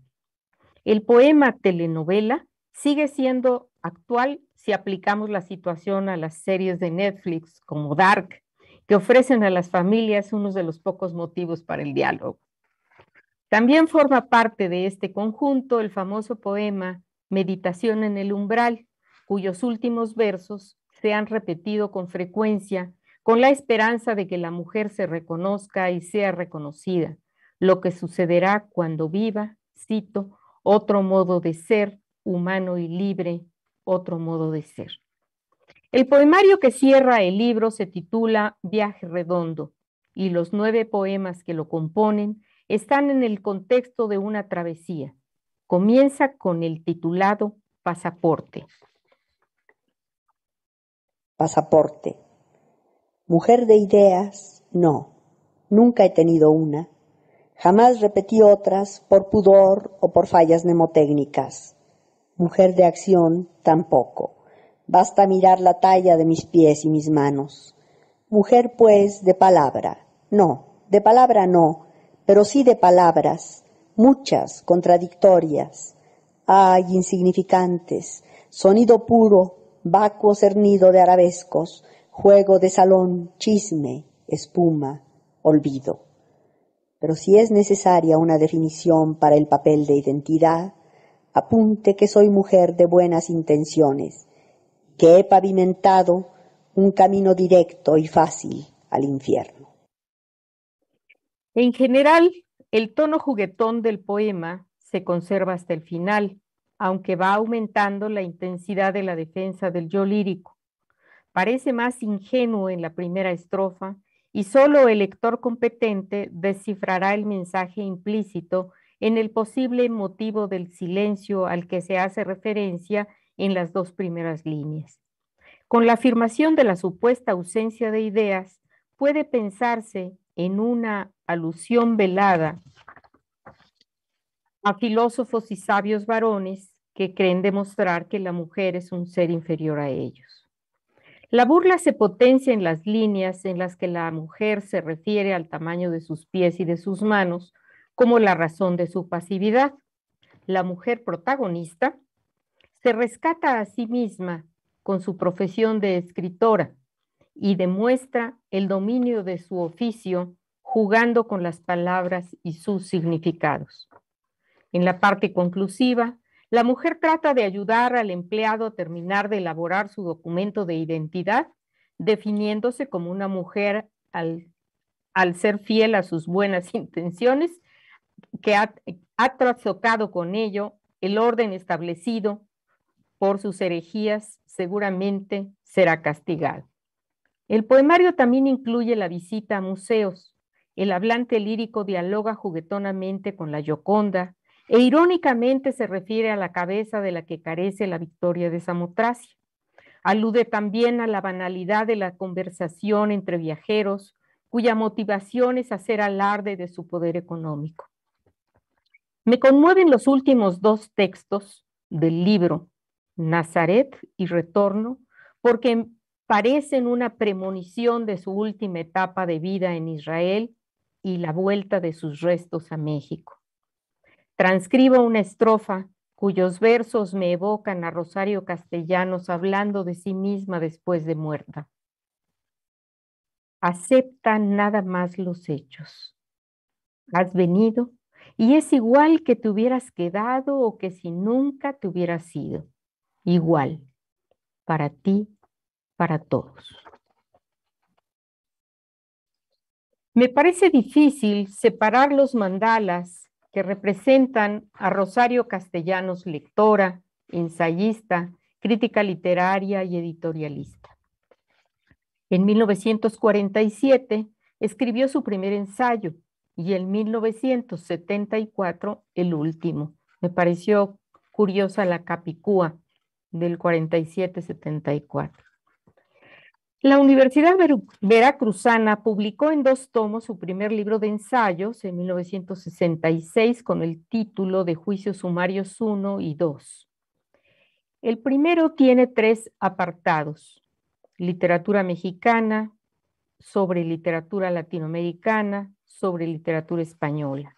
El segundo, cuatro, sobre literatura francesa, sobre literatura alemana, sobre literatura inglesa y sobre literatura. El contenido de los textos da idea de la amplitud de sus intereses, así como de la actualidad de sus reflexiones teóricas y críticas sobre la literatura universal. Del primer tomo, solamente quiero mencionar el ensayo Rafael Sánchez Ferlosio, en el que se refiere a la novela El Jarama, que ganó el premio Eugenio Nadal en 1900 55, porque sobre ella versó, como dije antes, la materia de novela contemporánea que impartió por última vez en 1971 y que me permitió conocer la situación de la sociedad e-, española evocada en el texto, así como la importancia tanto de la novelística norteamericana como del existencialismo vigente en ese momento en la voz de Rosario Castellanos. Además del libro Mujer que sabe latín, publicado por CEP 70 en 1973, al que me he referido varias veces, cuando murió la escritora, estaban en proceso de publicación dos libros de ensayo más. El uso de la palabra de la serie Crónicas de Excelsior con un cito, prólogo involuntario, el escritor como periodista que envió la autora desde Tel Aviv el 10 de, enero de 1972. El texto tiene marcas del sentido del humor de castellanos, así como de su agradecimiento al otro, en este caso a Julio Scherer, encargado de la sección editorial de Excelsior y que fue quien la invitó a colaborar en el periódico.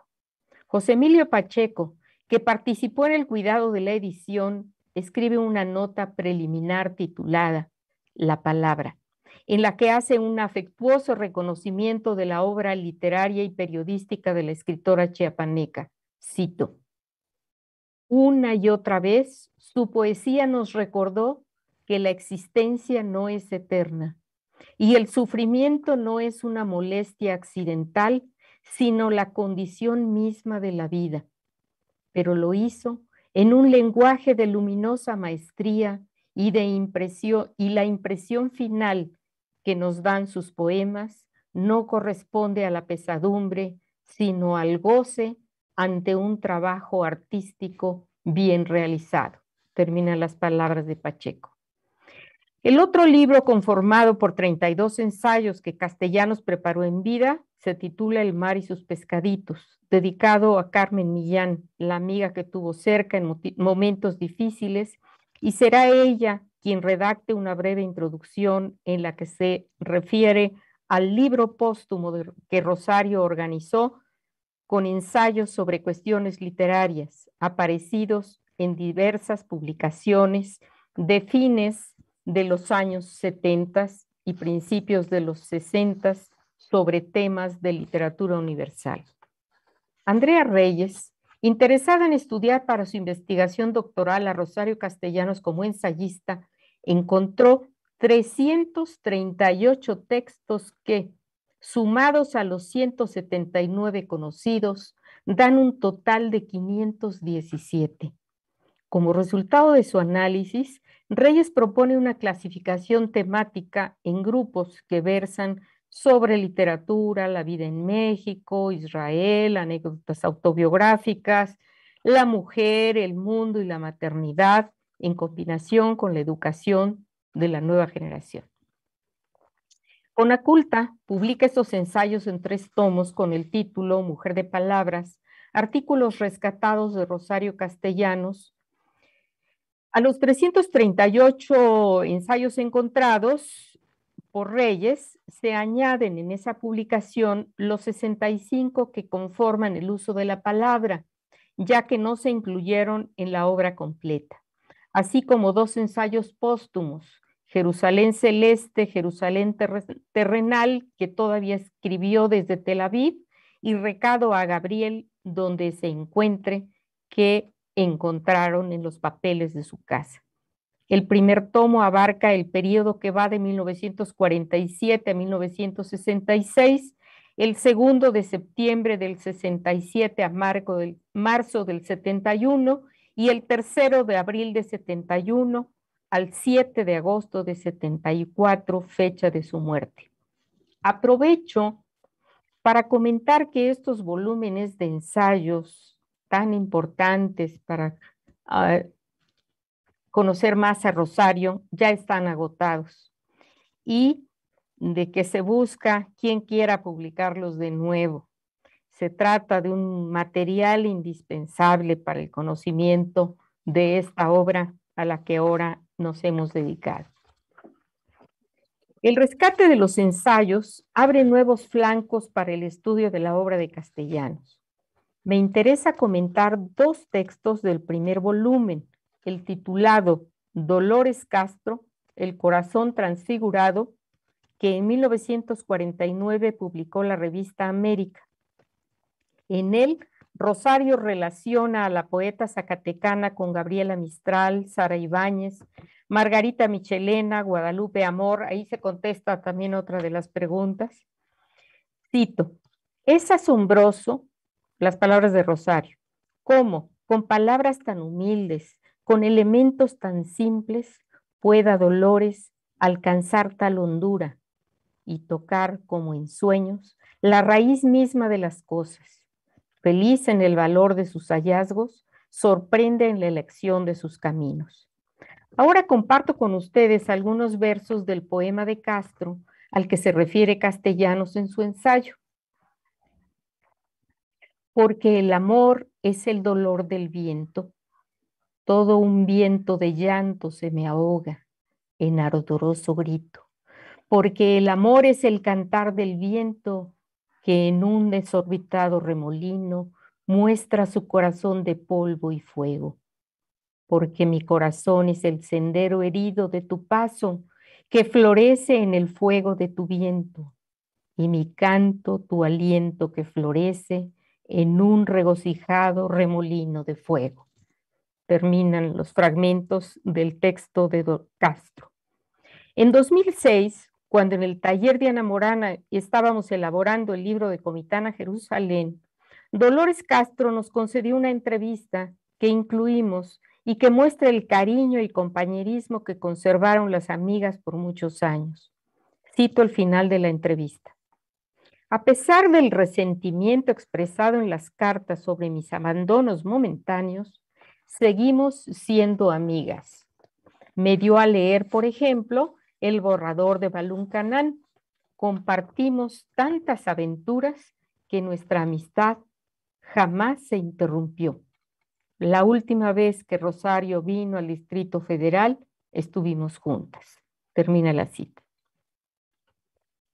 El otro ensayo al que quiero referirme se titula Presencia de Concha Urquiza, publicado en 1957 en el número 13 de la revista Metáfora, que se refiere a la poeta michoacana como piedra angular del movimiento poético femenino que alcanza esplendor y desarrollo en México durante la década de 1940-1950. Se nos pasó poner una fotografía de eh, Concha Urquiza, ni modo. Destacó como ejemplo de mujer libre, sensible, inteligente y autodidacta en muchos aspectos. Castellanos afirma que el ámbito en el que sus versos fueron difundidos han sido apreciados como lo más importante que hubiera creado una mujer en México desde la muerte de Sor Juana. Llama la atención que la ensayista chiapaneca en 1957 explique este texto, publique este texto, ya que es reciente la valoración de la que ha sido objeto Urquiza.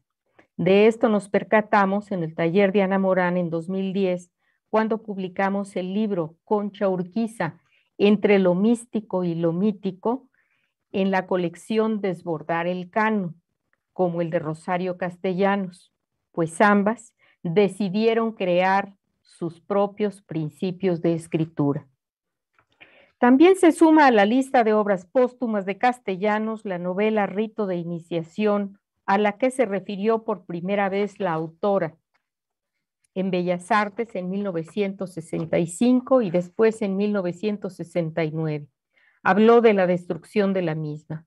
En esos años comenzaban a publicar en México notables escritores contemporáneos a castellanos, quienes leían lo que se escribía en otros países y expresaban su preferencia por la literatura inglesa, como lo hace ver la Chiapaneca en 1966 en el ensayo Tendencias de la novelística mexicana contemporánea. Asimismo, la ensayista estuvo atenta a nuevas propuestas de escritura como la Nouveau Roman o antinovela, cuyos principios despertaron su curiosidad, como se puede ver en el ensayo Los antinovelistas franceses de Juicios Sumarios 2, 1984. Se ha pensado que, quizá en la escritura de rito de iniciación, Castellanos experimentó algo de la propuesta francesa. El editor Eduardo Mejía explica que desde 1987, cuando Adolfo Castañón le encargó que compilara las obras completas de Rosario Castellanos, le encargó que, eh, le encargó que, perdón, en el Fondo de Cultura, se propuso encontrar la novela supuestamente destruida por su autor, pero fue hasta 1995 cuando encontró gracias a Gabriel Guerra, el completo de el, como él dice, el libro de Rosario Castellanos que no se perdió. Ambos, Gabriel y el, editor, decidieron publicarlo y salió a la luz en 1996. François Perus, en, en el artículo mencionado, en la sección Tres novelas ejemplares de Rosario Castellanos, la búsqueda de una voz, literatura propia, Balún Canán, Rito de Iniciación y Oficio de Tinieblas, de 2010, al referirse a rito de iniciación, subraya que ya desde el título, la novela se inscribe en la tradición de, del Bildungsroman. Cito, la novela se apoya en una tradición que pese al vigor y el prestigio de sus antecedentes europeos, no había tenido mayores secos en la narrativa hispanoamericana. Por ello, el editor se pregunta sobre la recepción de la novela si, si se hubiera publicado cuando fue terminada. La investigadora Perús en su ensayo atiende a las variaciones del punto de vista y a los cambios de las voces narradoras en esta novela. El capítulo 9 de Rito de Iniciación, titulado Álbum de Familia, tiene su propia historia. El tema fue desarrollado antes en la novela de teatro, en la obra de teatro Tablero de Damas, publicado por la revista América en 1952, lo que le causó problemas a la autora, ya que algunas escritoras se sintieron aludidas en el texto. Posteriormente, la misma temática dio lugar al capítulo 9 de la novela supuestamente destruida, mismo que incluyó en su último libro de relatos, titulado precisamente Álbum de Familia, publicado por Joaquín Mortis en 1971, al que nos referimos anteriormente. La novela Rito de Iniciación podemos ubicarla en el ciclo de la ciudad de Rosario Castellanos.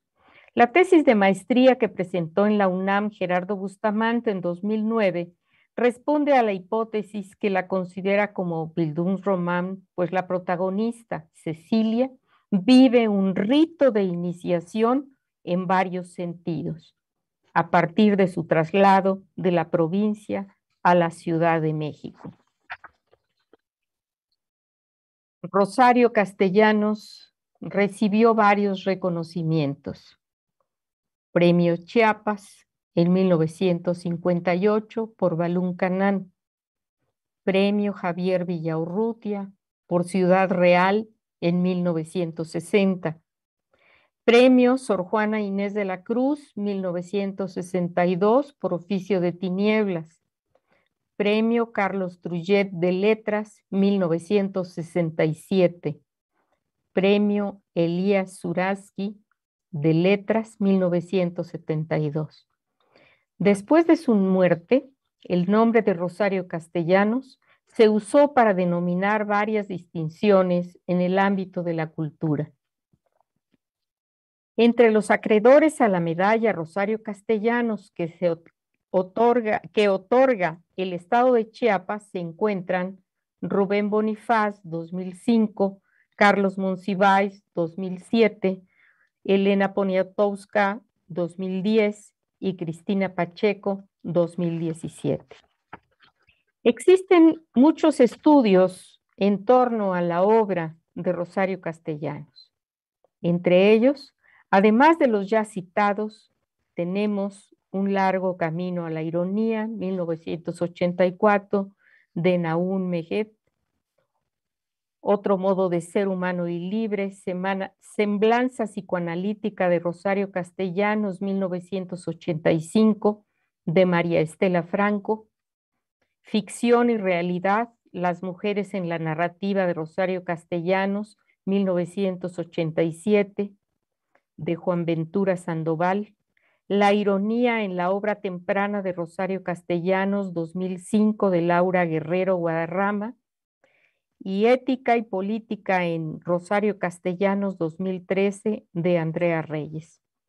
También existen algunas obras colectivas como Rosario Castellanos, Perspectivas Críticas y Ensayos Inéditos, eh, publicado por Paul Popovic Karik y editado eh, por Fidel Chávez Pérez. Poesía No eres tú, a 90 años de Rosario Castellanos, publicado en 2015. La vida y la obra de la escritora que ahora nos ha convocado ha sido el motivo de inspiración para otros textos como Prendida de las Lámparas, escrita por Elena Giochins que presenta a la niña, a la estudiante y a la embajadora. Aunque algunos consideran que esta obra es irreverente, pienso que quizá le resultaría divertida a quien fuera maestra en el uso de la ironía. La vida y la obra de Rosario Castellanos también ha sido el tema de expresiones cinematográficas como Balún Canán, 1957, Oficio de Tinieblas, 1962, El Secreto de Romelia, 1988 y Los Adioses, 2018. Pues quiero terminar, antes de las preguntas, con un agradecimiento múltiple. Gracias a Juan Villoro, gracias a Genei Beltrán, Félix, por su amable invitación a este seminario. Gracias al licenciado Miguel Limón Rojas, presidente de la Fundación para las Letras Mexicanas, y gracias al director general Eduardo Langagni. Quiero eh, incluir un agradecimiento especial a Mauricio del Olmo, que con su creatividad interpretó mis deseos para la elaboración del PowerPoint y por su apoyo en el proceso de preparación de esta conferencia. Contrario, doctora Zamudio, los agradecidos somos nosotros y todos los internautas que han estado muy pendientes de su disertación. Tenemos eh, muchos eh, comentarios, saludos, preguntas. Eh, estamos, como recordarán, en el seminario Introducción a la Literatura Moderna y Contemporánea de México. Este es el módulo Renovación y Diversidad de la Literatura. Hemos visto los perfiles de Rosario Castellanos, esta escritora mexicana tan importante que sigue eh, despertando el entusiasmo de eh, las nuevas generaciones de lectores, de estudiosos, eh, nos eh, han hecho varias eh, preguntas, empezaré con algunos de los comentarios. Andrés G. Lozada dice, saludos a quien fue mi profesora en clases inteligentes, sensibles y extraordinarias, con quien estudiamos Poesía no eres tú, de la misma Rosario Castellanos. Es un gusto volver a escucharla. Nos dice Maritza Ortiz, excelente ponencia, doctora Samud, es un gusto poder escucharla, es digna de admiración. Dania Mogollán dice, qué delicia es escuchar a Rosario Castellanos explicada por la doctora Zamudio, tiene los pies bien puestos en la tierra. Cita, eh, muchas gracias. Eh, nos, hace una pregunta eh, Ángela Olmedo. Me da curiosidad saber si Rosario, escritora con tantas facetas, se expresó con favoritismo acerca de algún género en particular. ¿Alguno le parecía más trascendente? Mm, es difícil. Yo creo que ella no lo expresó y además el hecho de que sus inquietudes las expresar a través de la poesía, de la narrativa, del ensayo, pues creo que demuestra que lo importante para ella era la palabra y hacer uso de la palabra con un ritmo más marcado, eh, con imágenes eh, más visuales, eh, con secuencias también diferentes. Entonces, no, no veo que haya una, una preferencia, porque vemos que los mismos temas, pues los abordamos desde diferentes géneros, y si es que todavía hablamos de géneros. Claro, eh, nos comparte esta reflexión Dina en un momento en el cual se estaba hablando sobre el tema de la maternidad abordado por Rosario Castellanos. Qué palabras tan fuertes para definir el hecho de ser madre es impactante cómo se describe el proceso que conlleva esa etapa de nuestras vidas como mujeres. Em, desde la página de Facebook de la Feria Libro de Minería nos dice José de Jesús Valentín Hernández, ah, felicitaciones a la doctora Luz Elena por su magnífica conferencia. Nos saluda acá desde la Ciudad de México. Eh, nos eh, escribe también desde la página de Facebook del CCH Naucalpan. Caro Sol dice, gracias por esta sesión, un gran gusto estar con ustedes. hay algunas preguntas que nos han hecho sobre si estas ah, sesiones se quedan grabadas para poder escucharlas posteriormente o compartirlas. En efecto, las van a poder encontrar como lo que hemos estado realizando estos meses, eh, tanto en la página de Facebook como en nuestro canal de YouTube, Casa Estudio 100. Eh, había mencionado la doctora Zamudio, la charla que nos dio la doctora Lucía Melgar hace algunos meses sobre la obra de Rosario Castellanos en un ciclo dedicado a varias narradoras eh, de Latinoamérica. hemos compartido en las redes el enlace de esa charla de la doctora Melgar para las personas interesadas. Em, nos dice Yolanda Ríos, saludo desde Panamá, fascinada de escuchar esta clase con esta voz tan acedada y dulce. Acedada se refiere a seda. Eh, eh, y nos comparte un comentario Francisco Javier Lorriaga de la Prepa 4, la UNAM, a quien saludamos con mucho afecto. Otra gran amistad de Rosario Castellanos fue el poeta chepaneco Jaime Sabines, tanto en Mascarones como en la vida personal. Incluso Sabines tiene un poema dedicado a la muerte castellanos. Eh, nos eh, hace una recomendación Lorena San Millán, que ya nos la había hecho la semana pasada y creo que me la brinqué. Dice, definitivamente hay que compilar todas estas ponencias, son un tesoro invaluable. En efecto, estamos muy agradecidos todos aquí en la Fundación para Ultramexicanas Mexicanas por la sabiduría y el profundo conocimiento y la pasión con la cual eh, nuestros ponentes han He estado eh, abordando los temas de la literatura mexicana de los últimos 120 años. Em, una pregunta que nos hace Juan Martínez estuvo parcialmente eh, respondida pocos minutos después, que es, doctora, cuando se hablaba de los premios que recibió en vida Rosario. Eh, en su época, ¿qué tanto reconocimiento de atención tuvo la obra de Rosario Castellanos? Es decir, si iba de acuerdo al merecimiento de la obra o habría habido resistencias a la escritura de Rosario? Pues yo creo que, pues no obstante que quizás sí hubo resistencias, porque pues atacaba con, con su ironía eh, todos sus desacuerdos, eh, pues era muy valiente y recuerdo algún texto que leí sobre eh, que le decían que tenía muchos pantalones cuando habló de Tlatelolco y le hicieron algunos comentarios muy simpáticos en el periódico hablando de esta valentía y curiosamente esos ensayos estuvieron guardados hasta que los sacó Andrea Reyes. Entonces, eso nos da una respuesta al respecto. Es decir, se dejaron, dejaron que se publicaran, pero pues ya. De hecho, a espaldas de la doctora Zamudio se podrán quizá ver ahí con lupa los tres tomos de Mujer de Palabras.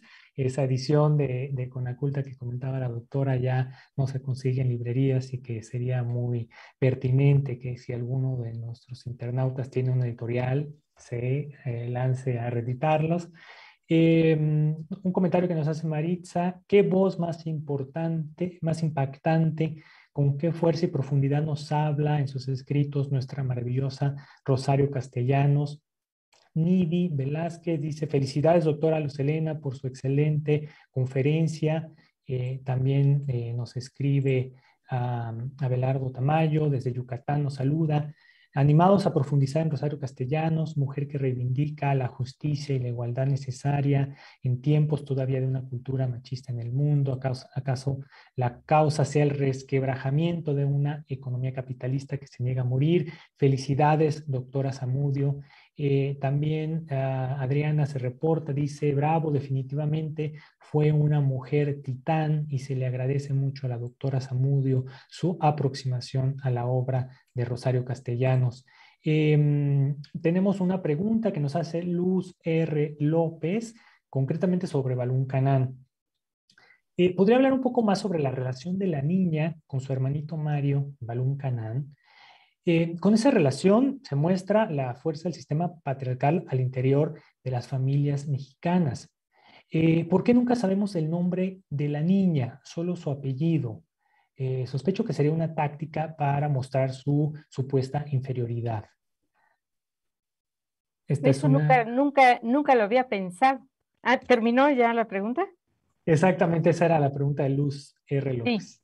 Sí. nunca ah, había pensado que la respuesta fuera que se sintiera inferior. Yo creo que pues más bien como habla en primera persona, pues no, no se le, si le está platicando lo que le sucede.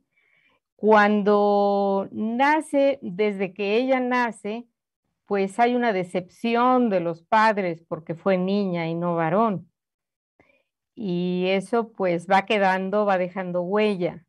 Después, eh, pues la enfermedad, eh, hay un celo, porque aunque el padre vemos que era una, era una persona instruida, hizo su carrera de ingeniero, por eso los libros en inglés y por eso el afán de enseñarle también a leer a su hija, es decir, ahí hay un aspecto positivo del padre, eh, pues sí es distante y tiene conflictos con su esposa Cuando se enferma el niño entran en gran conflicto porque cómo lo van a perder y la madre pues sí expresa esa, e, esa tristeza porque se enfermó el niño y no la niña.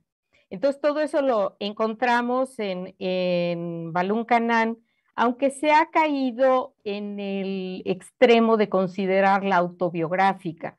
Por eso yo hablo de autoficción y esa autoficción está en los poemas, está en, en Balún Canán, de hecho en algunos textos, por eso la aclaración de que nació en el DF, que se fue muy pequeña a Chiapas, porque hay quien dice es que es chiapaneca, no, ella adoptó esa, em, esa presentación o esa identidad por el cariño que le tuvo a Chiapas.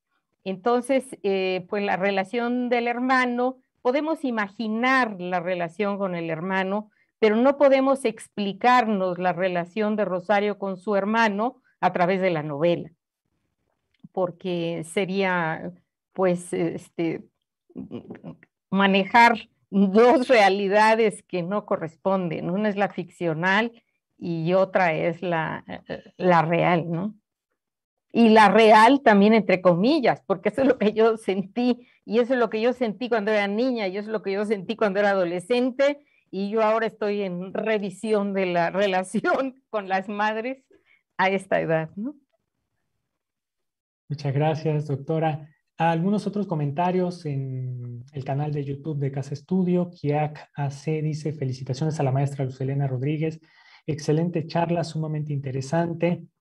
Gloria Prado anota lo siguiente, muchas felicidades, Luce, excelente, me parece, me parece además muy interesante. Eh, Guadalupe García mm, eh, anota lo siguiente, agradezco la excelente charla.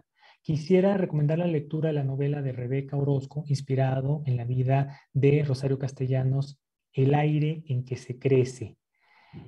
Que eh, también en la página de Facebook, Ileana Reyes anotaba lo siguiente, Saludos desde Toluca y justo ahora estoy leyendo la vida novelada de Rosario Castellanos en la novela En el aire en que se crece de Rebeca Orozco y después de ver la película Los adioses con su gran plática me puedo hacer una imagen más completa de la gran Rosario Castellanos. Muchas gracias.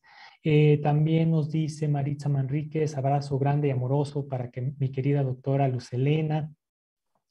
Lucelena una pregunta técnica que nos hace Ángel Olmedo, Ángel Olmedo, que quizá Mauricio, que está aquí en la sala Zoom, nos puedas ayudar. Nos dice, ¿dónde encuentro las grabaciones de los poemas de Rosario con su voz? Estuvimos eh, eh, estos eh, últimos días viendo con Mauricio del Olmo esta preparación de la presentación de PowerPoint que hizo tan completa. Y pues hay una, una este, información que ah, tiene que ver con eh, la eh, grabación del Fondo de Cultura Económica. Este, no sé, Mauricio, si lo quieras eh, compartir tú o, lo, leo aquí lo que me estás compartiendo. Yo se lo comparto ahora mismo, Genei. Gracias. Muchas gracias. Pues es este, en la edición del Fondo de Cultura Económica de la colección Entre Voces, y en 2002 de Difusión Cultural de la UNAM, de Viva de México, que editó el disco Rosario Castellanos, poesía que contiene sobre todo poemas de la última etapa de vida de la poeta con su propia voz. Em, entonces son pues dos importantes instituciones, el Fondo de Cultura Económica y la UNAM, eh, quienes em, eh, habrían, quienes editaron esto. Aquí estará en el canal de, de YouTube compartiendo más específicamente Mauricio la, información. Eh, nos dice Julieta Ortiz, hay un poema de castellano sobre las grandes ocasiones domésticas y familiares, todo esto entre comillas, en las que describe los manteles largos y demás objetos significativos. ¿Sabe cuál es? Felicidades y gracias. No recuerdo el título del poema. Nos dice Gilberto Moreno, muchas gracias por la invitación a leer a Rosario Castellanos. Felicidades por su guía y excelente exposición, doctora Zamudio. Un abrazo afectuoso. Eh, hay una pregunta que nos hace eh, Nadia Sánchez. Dice, me gusta mucho lección de cocina de álbum de familia, pero me queda la duda de si la ironía no termina quitando fuerza a la denuncia del machismo en la sociedad mexicana. No sé si los lectores varones al reírse del cuento no se dan verdadera cuenta de lo que se está criticando. ¿Cree usted que Rosario Castellanos podría haber sido más cruda en su crítica del matrimonio en ese cuento? Bueno, yo creo que sí podría haber sido más cruda, porque la ironía se le daba de una forma terrible, por eso yo me escondía ahí cuando tomaba clase con ella. Pero, eh, pues yo creo que si recordamos lo que mencioné del examen de filosofía, en donde eh, los grandes filósofos no captaron la ironía, pues por más fuerte que fuera, pues si tú quieres oír, oyes, y si no quieres, no oyes. quizá lo más interesante es que las mujeres se den cuenta de cómo eh, pierden toda la compostura y toda la hermosura y toda la dignidad eh, actuando así, ¿no? También nos saluda desde la página de Facebook de eh, Cultura UNL, Fabiola Morales. Muy buena plática acerca de la vida de Rosario Castellanos. Eh, tenemos una pregunta em, que nos hace desde la página de Facebook de la Feria Internacional del Libro del Palacio de Minería, José de Jesús. Eh, la explicación del desafortunado accidente al cambiar un foco sigue siendo la versión oficial del fallecimiento de la gran escritora Rosario Castellanos. Pues hay muchas versiones. Yo me he leído como cinco.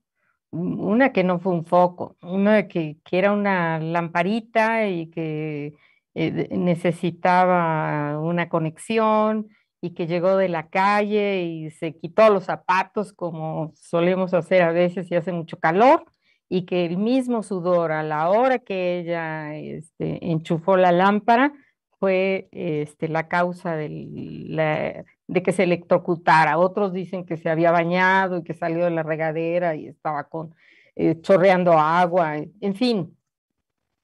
Eh, y, y, otros lo han interpretado como suicidio, pero pues muchos dicen que era una época en la que ella expresaba mucha felicidad por lo que estaba haciendo.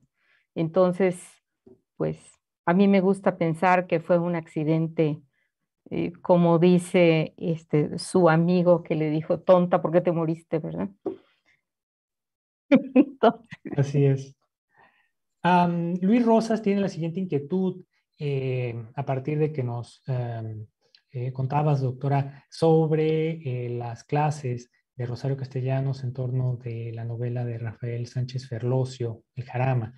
¿Fue importante eh, la novela de Sánchez Ferlosio para la evolución de la obra de Rosario Castellanos. ¿A qué se debía eh, su interés en la obra de este escritor español? No, si nosotros nos ponemos a ver los ensayos, eh, es decir, ahí hubo una coincidencia, le acababan de dar el premio Nadal y, bueno, pues adquirió fama, pero pues quizá la importancia es este, pues ver, por ejemplo, la presencia del existencialismo, que fue tan importante y que se dio en esa época en la que ella, me imagino que empieza a pensar en esta nueva novela y eh, pues por eso quizá pues la eligió para novela contemporánea, pero pues igual tiene ensayos sobre muchísimas otras novelas y dictó muchísimas clases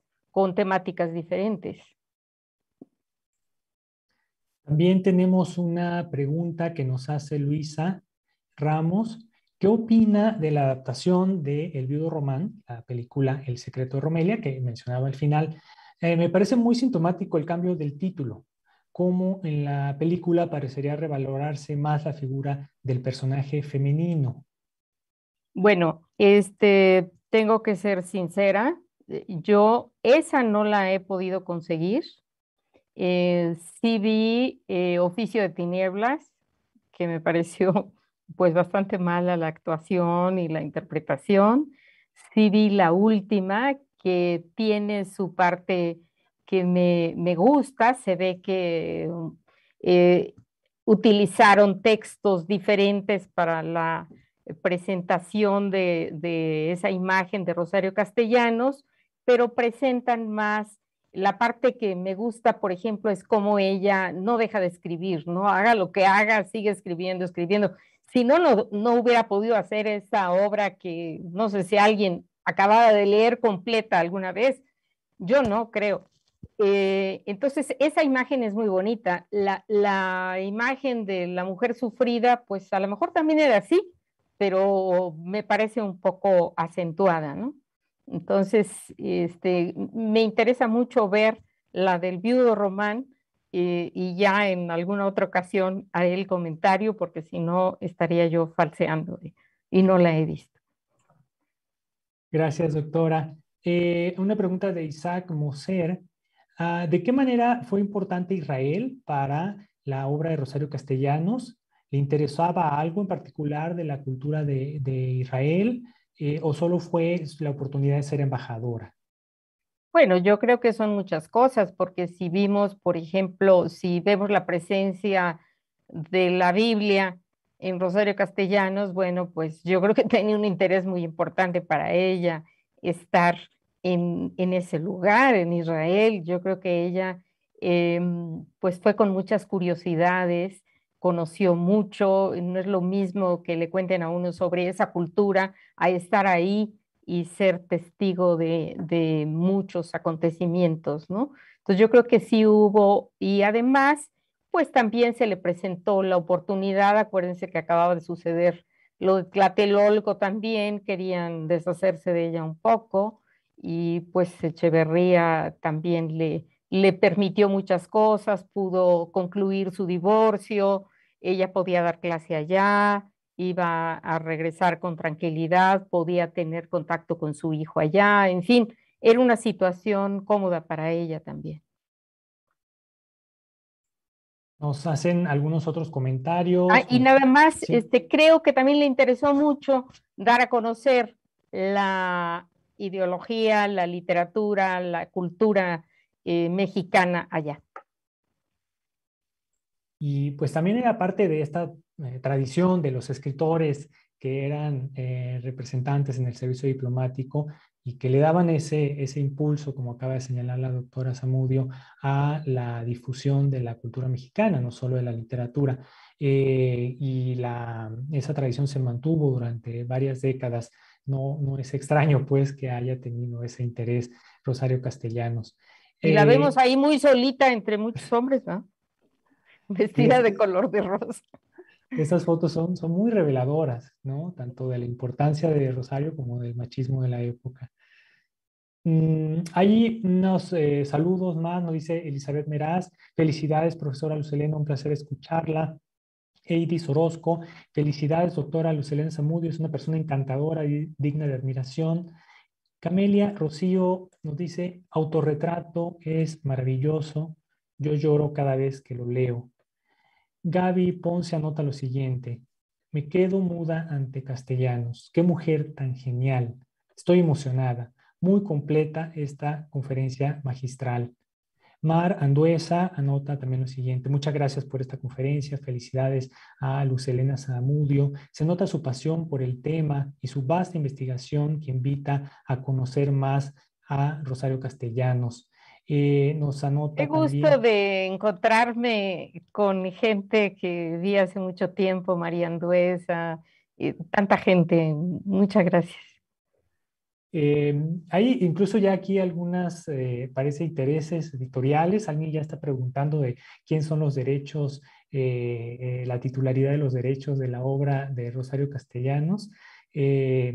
La, Fundación Paltra Mexicanas no es una agencia literaria, pero podríamos debutar en ese... Muy cerca de ella también, pero yo creo que pues no fue su eh, forma de expresión más recurrente y, bueno, pues sí, yo creo que tenía dificultades en cuanto a, o necesitaba más experiencia en ese campo, ¿no? Más formación en ese campo. Otra pregunta que nos hace Mar Anduesa es sobre si la relación con su hijo Gabriel era estrecha, eh, si sabemos algo sobre este aspecto en, la vida de Rosario Castellanos. Pues sí, hay muchos ensayos en donde habla de cómo llega, de cómo lo introduce en la sociedad este, judía, por ejemplo, de cómo aprendió a leer. Esa es una anécdota lindísima, porque ella quería que leyera y pues el niño no, en, en un ensayo cuenta cómo le ponía varias ediciones de Balún Canán y entonces este, dice que lo utilizaba como eh, pues obstáculos para sus carritos o que los ponía para diseñar el espacio, hasta que un día, cuando ella menos lo esperaba, lo leyó y considera que es el lector eh, más entrañable para ella. Entonces, este, creo que hubo buena relación. Eh, Ricardo Guerra tuvo otros dos hijos. Cuando ella estuvo en Europa, él se casa y tiene dos hijos. Y en un momento dado, eh, Rosario se hace cargo también de los otros dos niños y viven los tres eh, con ella. Tenemos una pregunta, ya estamos cerca del término de esta transmisión. Miguel Roa hace la siguiente pregunta. Doctora, si tuviera que irse a una isla desierta, ¿cuál sería el cuento y cuál es el poema de la obra de Rosario Castellanos que metería en la maleta? Ay, un poema se me hace muy poquito.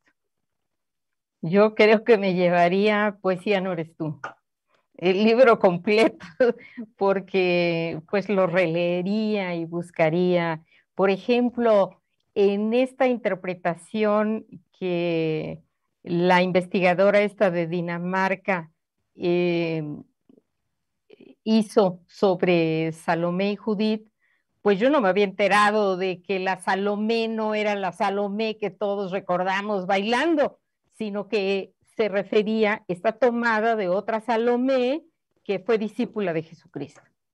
Entonces, por ejemplo, pues sigue uno descubriendo, ¿no? Entonces es muy grato seguir. Muchas gracias, doctora Zamudio. Aprovechamos para, la, eh, para recordarles que este seminario Introducción a la Literatura Moderna y Contemporánea de México, en este tercer módulo, Renovación y Diversidad de la Literatura, continúa la próxima semana con la sesión eh, dedicada a la obra de Jorge Ibargüengoitia.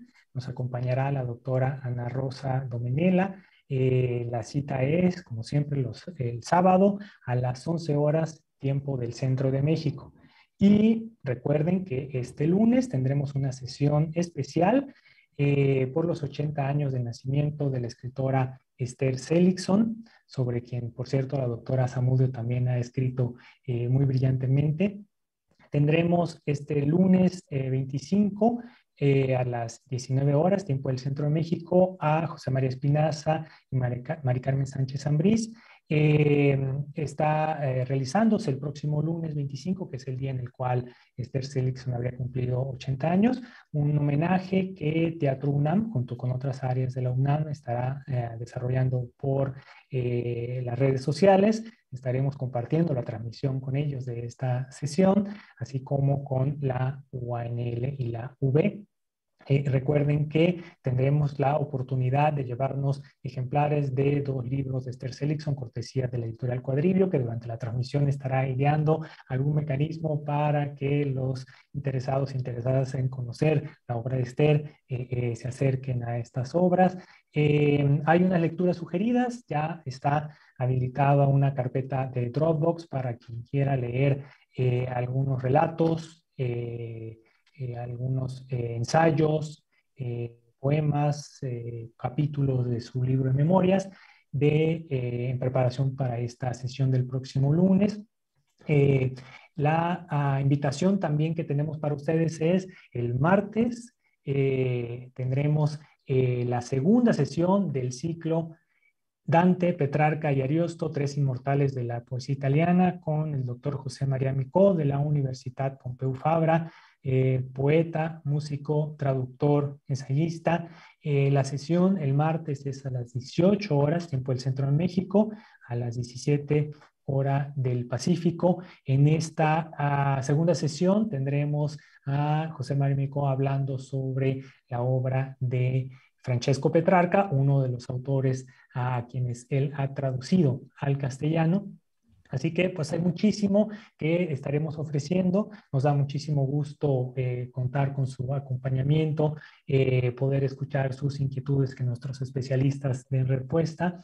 Eh, muchas gracias a la Universidad Veracruzana a través de su Facultad de Letras Españolas y su área académica de humanidades y a la Universidad Autónoma de Nuevo León mediante su Secretaría de Extensión y Cultura y su Facultad de Filosofía y Letras por el desarrollo de este proyecto en colaboración y a las entidades que participan en la transmisión simultánea, el Colegio de Ciencias Humanidades y la Feria Internacional del Libro del Palacio de Minería de la UNAM, el Centro Cultural Mexiquense Bicentenario de Texcoco y el Instituto Digital César Chávez para el Español en Norteamérica de la Secretaría de Relaciones Exteriores. Tenemos aquí en la sala Zoom al maestro Miguel Limón Rojas, presidente de la Fundación para Letras Mexicanas. Eh, muy buenas tardes, don Miguel, tiene la palabra. Hola, Genei, muchas gracias. Pues nada más para, en nombre de la Fundación para las Letras Mexicanas, de la Casa Estudio 100 Años de Soledad, eh, agradecerle muy eh, muy sinceramente y muy, y muy efusivamente a la doctora Zamudio que nos haya regalado esta mañana tan feliz, eh, pues con esta abundancia de motivos de gozo en torno a esta riquísima figura de nuestra literatura que es Rosario Castellanos. Eh, este, este curso que se imparte sábado a sábado, doctora, pues tiene, tiene el propósito de difundir conocimiento en relación a, la, a, nuestra literatura, pero al difundirlo eh, también es la oportunidad para provocar que, los, eh, que la audiencia, que los internautas tengan nuevos motivos para, eh, para ir a las fuentes, a los, a los libros de los autores eh, en torno a quienes eh, se desarrollan estas charlas. Y, usted ha dado realmente motivos y, oportunidades para que todos nos sintamos impulsados a a gozar por mucho tiempo y en muchas ocasiones a, Rosario Castellanos. Qué, qué portento de, mujer y qué, y qué bien, con cuánta fidelidad y erudición y, qué manera tan agradable de la que usted se ha servido para, para hablar de, de ella como, pues como discípula que es usted de ella y como una gran especialista, conocedora de la literatura mexicana y, universal.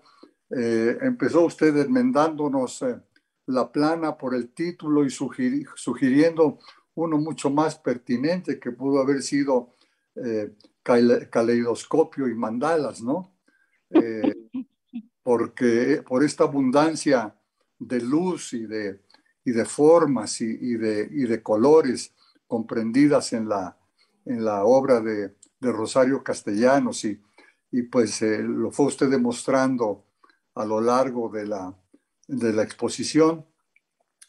Eh, nos recordó usted también como, además de, eh, de, haber sido una creadora notabilísima, Rosario Castellanos fue una gran universitaria y como universitaria tomó posición en los, eh, en los eh, grandes conflictos que afectaron a la universidad y a los universitarios, y a México, por supuesto, como eh, colaboradora que había sido del doctor Chávez, del rector Chávez en difusión cultural, que fue una, una época en la que la universidad era un centro de producción y de difusión cultural importantísimo.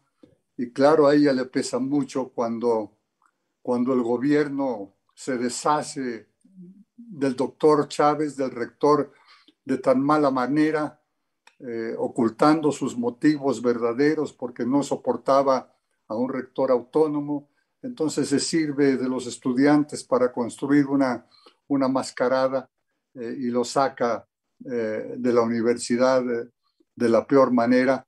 Y Rosario Castellanos, por supuesto, protesta de manera tan sonora y lo volverá a hacer dos años después, durante el 68, eh, con motivo eh, de la represión que tuvo el gobierno a lo largo de esos meses en su incapacidad de escuchar la voz disidente de los universitarios y de los estudiantes, y ella vuelve a tomar una, una, una posición crítica. Pero